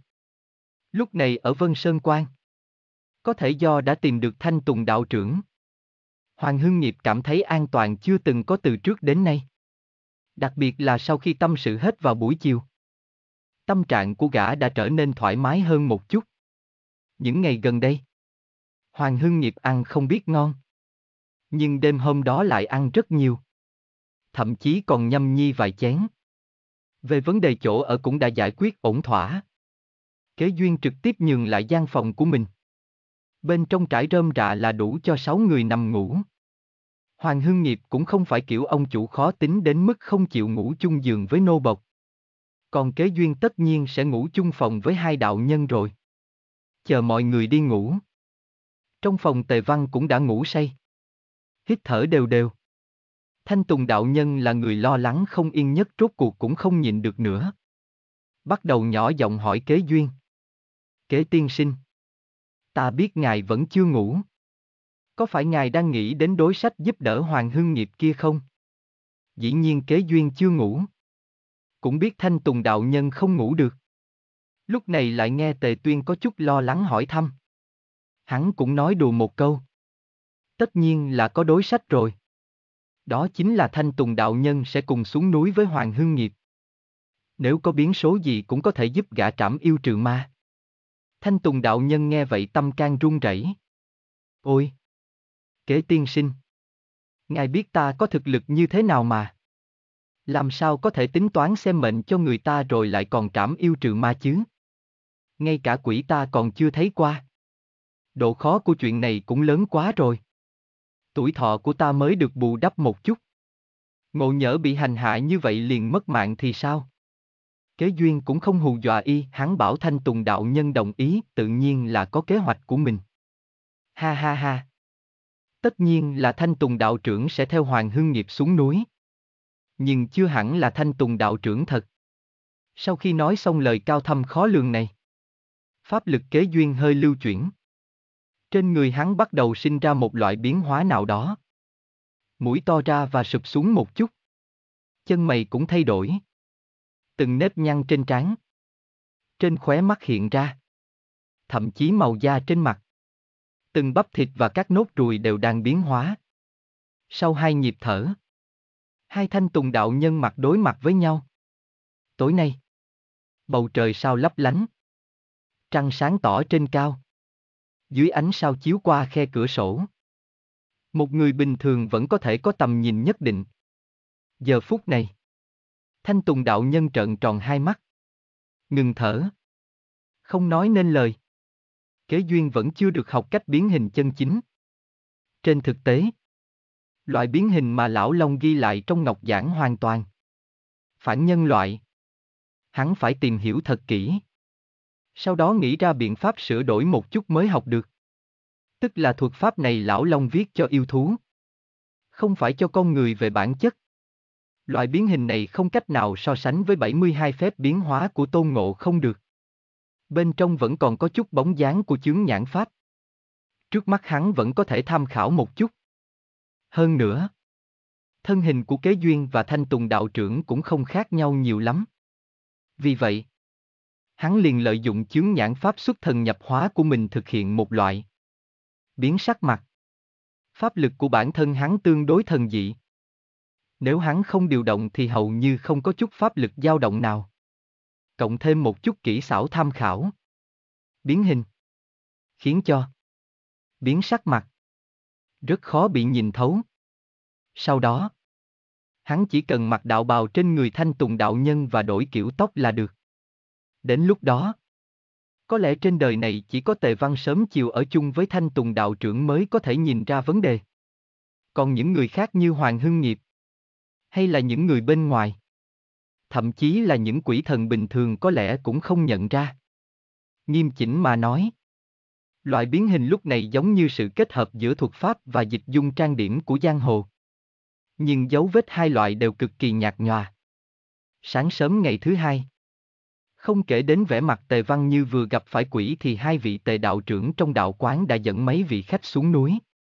Cuối cùng, Thanh Tùng đạo trưởng lại đi theo bọn người Hoàng Hưng Nghiệp cùng rời núi. Mà vị kế tiên sinh hôm qua nghe nói bị nhiễm phong hàn. Nên còn chưa tỉnh dậy. Bên trong Vân Sơn Quan. Thanh Tùng đạo trưởng một mực trốn bên trong phòng chờ mọi người xuống núi. Rất lâu sau mới thấy Tề Văn trở về. Sư phụ. Con đã trở về. Tề Văn hào hứng chạy vào phòng thì thấy Tề Tuyên vừa uống trà vừa thở phào nhẹ nhõm. Sư phụ. Làm sao mà kế tiên sinh có khuôn mặt giống người vậy? Đây có phải là thuật dịch dung của cao thủ giang hồ không? Có thể dạy cho con một chút không nhỉ? Thanh Tùng đạo trưởng gõ nhẹ lên đầu tề văn một cái. Cái gì là thuật dịch dung chứ? Đó là tiên pháp. Ta đã nói với con bao nhiêu lần. Kế tiên sinh là thần tiên. Tề văn vô thức xoa xoa trán của mình. Rồi lẩm bẩm một câu. Chính kế tiên sinh nói mình không phải. Ra khỏi phạm vi Vân Sơn. Con đường lập tức dễ đi hơn. Hoặc có thể nói ít nhất con đường dưới chân bằng phẳng hẳn ra. Bọn người Hoàng Hưng Nghiệp có lưu lại xe ngựa ở cửa Vân Khẩu Thôn. Hôm qua lên núi không dùng ngựa được. Hôm nay trở về thì dĩ nhiên không cần phải đi bộ nữa. Tổng cộng có hai chiếc xe ngựa. Một xe chở lều. Xe còn lại là xe ba gác. Bọn họ không quay lại huyện thành Đông Nhạc mà đi thẳng đến Mậu Tiền Trấn. Trên xe ngựa, Hoàng Hưng Nghiệp bắt đầu thấp thỏm không yên. Thanh Tùng đạo trưởng. Chúng ta có nên đến miếu thành hoàng trước không? Không cần. Nếu ngươi đã cúng tế thành hoàng. Lúc này chắc chắn thành hoàng của huyện Đông Nhạc cũng đã biết. Nói không chừng đã phái quỷ thần đi tới miếu thổ địa ở mậu tiền trấn kiểm tra rồi. Lúc kế duyên nói chuyện. Ánh mắt cứ nhìn qua màn vải xe ngựa mà quan sát bên ngoài. Nhưng hắn cũng không thấy điều gì khác thường. Nhưng mà Thanh Tùng đạo trưởng. Nếu chúng ta trốn ở trong huyện thành có phải sẽ an toàn hơn không? Phu nhân ta đang ở nhà nhạc mẫu trong thành. Mấy đứa trẻ tạm thời cũng ở trong thành với nàng. Hoàng lão bản làm rất đúng. Nhưng tránh được lần đầu vẫn không tránh được lần thứ 15. Việc này ngươi cần phải đối mặt. Quỷ thần còn có lúc thư giãn. Con người càng như vậy. Ngay cả khi ngươi một mực ở lại huyện Đông Nhạc thì cũng không thể đảm bảo không xảy ra việc gì. Tốt nhất là giải quyết mọi chuyện thật tốt. Ai? Đạo trưởng nói đúng. Nói xong mấy câu này. Kế duyên cũng nhắm mắt dưỡng thần. Làm ra vẻ không muốn nói thêm gì nữa. Mặc dù Hoàng Hưng Nghiệp lo lắng cũng đành nhỏ giọng thì thầm nói chuyện với lệ miễn bên cạnh. Ước chừng đến buổi trưa. Xe ngựa đã tới bên ngoài mậu tiền trấn. Người đánh xe nhắc nhở người trong xe một câu. Lão gia. Sắp đến nhà rồi. Hoàng Hưng Nghiệp còn chưa lên tiếng thì thấy Thanh Tùng đạo trưởng ngồi đối diện đã mở mắt. Đi thôi. Chúng ta đến miếu thổ địa trước. Ai? A Phúc cho xe đến miếu thổ địa. Vâng. Thưa lão gia. Tôi tớ trả lời một tiếng rồi điều chỉnh phương hướng của xe ngựa. Sau một lúc, xe ngựa dừng ở bên ngoài miếu thổ địa. Kế Duyên và bọn người Hoàng Hưng Nghiệp lần lượt xuống xe. Người hầu không đi theo nên chỉ có ba người lệ miễn. Hoàng Hưng Nghiệp và Thanh Tùng Đạo Trưởng. Đi tới mà thôi. Miếu thổ địa nằm ở gần rìa phía nam mậu tiền trấn. Lúc này, ngoại trừ sư phụ thợ mộc do người nhà họ Hoàng tìm đến cùng với ông lão thợ xây trên trấn để chuẩn bị cho việc xây miếu thì cũng không có hương nhân nào khác ở đây. Lúc còn cách miếu vài chục bước, Kế duyên bỗng dừng lại. Nhỏ giọng nói với Hoàng Hưng Nghiệp và Lệ Miễn. Trước miếu có Nhật Tuần Du. Các ngươi đừng nói lời dư thừa. Nhật Tuần Du. Hoàng Hưng Nghiệp nghi hoặc nói một câu. Chính là Nhật Du thần thường được nhắc đến. Chắc hẳn là do thành hoàng huyện Đông Nhạc phái tới. A a a, hiểu rồi. Hiểu rồi. Trong lòng Hoàng Hưng Nghiệp cảm thấy yên tâm hơn. Còn lệ miễn bên cạnh tràn đầy nghi hoặc. Gã nhìn chăm chú về phía bên kia miếu nhưng vẫn không thấy gì đặc biệt. Ba người đi tới trước miếu thổ địa. Lão thợ mộc và ông lão coi miếu vội vàng chào đón Hoàng Hưng Nghiệp. Dĩ nhiên việc này đã thu hút sự chú ý của hai tên Nhật Tuần Du. Cả hai cùng nhìn về phía Hoàng Hưng Nghiệp. Người này chính là Hoàng Hưng Nghiệp. Đúng vậy. Gã là người đến miếu thành hoàng cúng bái rồi bẩm báo tình hình nơi này đấy. Còn đạo nhân này là ai? Hình như là Thanh Tùng đạo nhân. Y thường bày quầy hàng trước cửa miếu. Trong lúc hai tên Nhật Tuần Du trò chuyện với nhau, bọn họ cũng cẩn thận dò xét bên cạnh Hoàng Hưng Nghiệp. Kế duyên nhìn thấy nhưng cũng không nhắc nhở. Tránh cho gã ngạc nhiên. Kế duyên cẩn thận quan sát tượng thần trong miếu. Hắn nhận ra tượng thần này có rất nhiều đặc điểm không giống con người. Hiện tại, hương khói rất nhạt. Khí tức thần đạo mà tượng thần lưu lại cũng không mạnh. Rõ ràng là hai ngày nay lão chưa từng tới miếu thổ địa. Hắn lại nhìn cánh tay tượng thần đặt ở một góc hẻo lánh. Người thợ một kia đang lắp đất lên để chống đỡ. Nhưng vẫn chưa gắn lại trên tượng thần. Ở trên đó cũng không lưu lại tà khí gì. Nhìn giống như bị người ta đánh rớt vậy. Chẳng lẽ là do con người sao? Sau khi xem một lúc, Kế Duyên và bọn người Hoàng Hưng Nghiệp cùng chỗ trở về Hoàng Phủ trên thị trấn. Hai tên Nhật Tuần Du cũng đi theo bọn họ. Nếu so sánh thì tất nhiên Hoàng Phủ kém xa Vương Phủ và Sở Phủ ở Kinh Kỳ Phủ. Nhưng ở huyện Đông Nhạc, Hoàng Phủ chắc chắn được xem là một nơi nhà cao cửa rộng. Bởi vì có thanh tùng đạo nhân đến nên Hoàng Hưng Nghiệp đã chuẩn bị rượu và thức ăn ngon chiêu đãi một phen. Tuy nhiên, trước khi dùng cơm vào giờ ngọ, Kế Duyên đã sai người hầu nhà họ Hoàng chuẩn bị hai thẻ gỗ. Đồng thời hắn cũng cho người mang một ít rượu thịt vào trong phòng dành cho khách.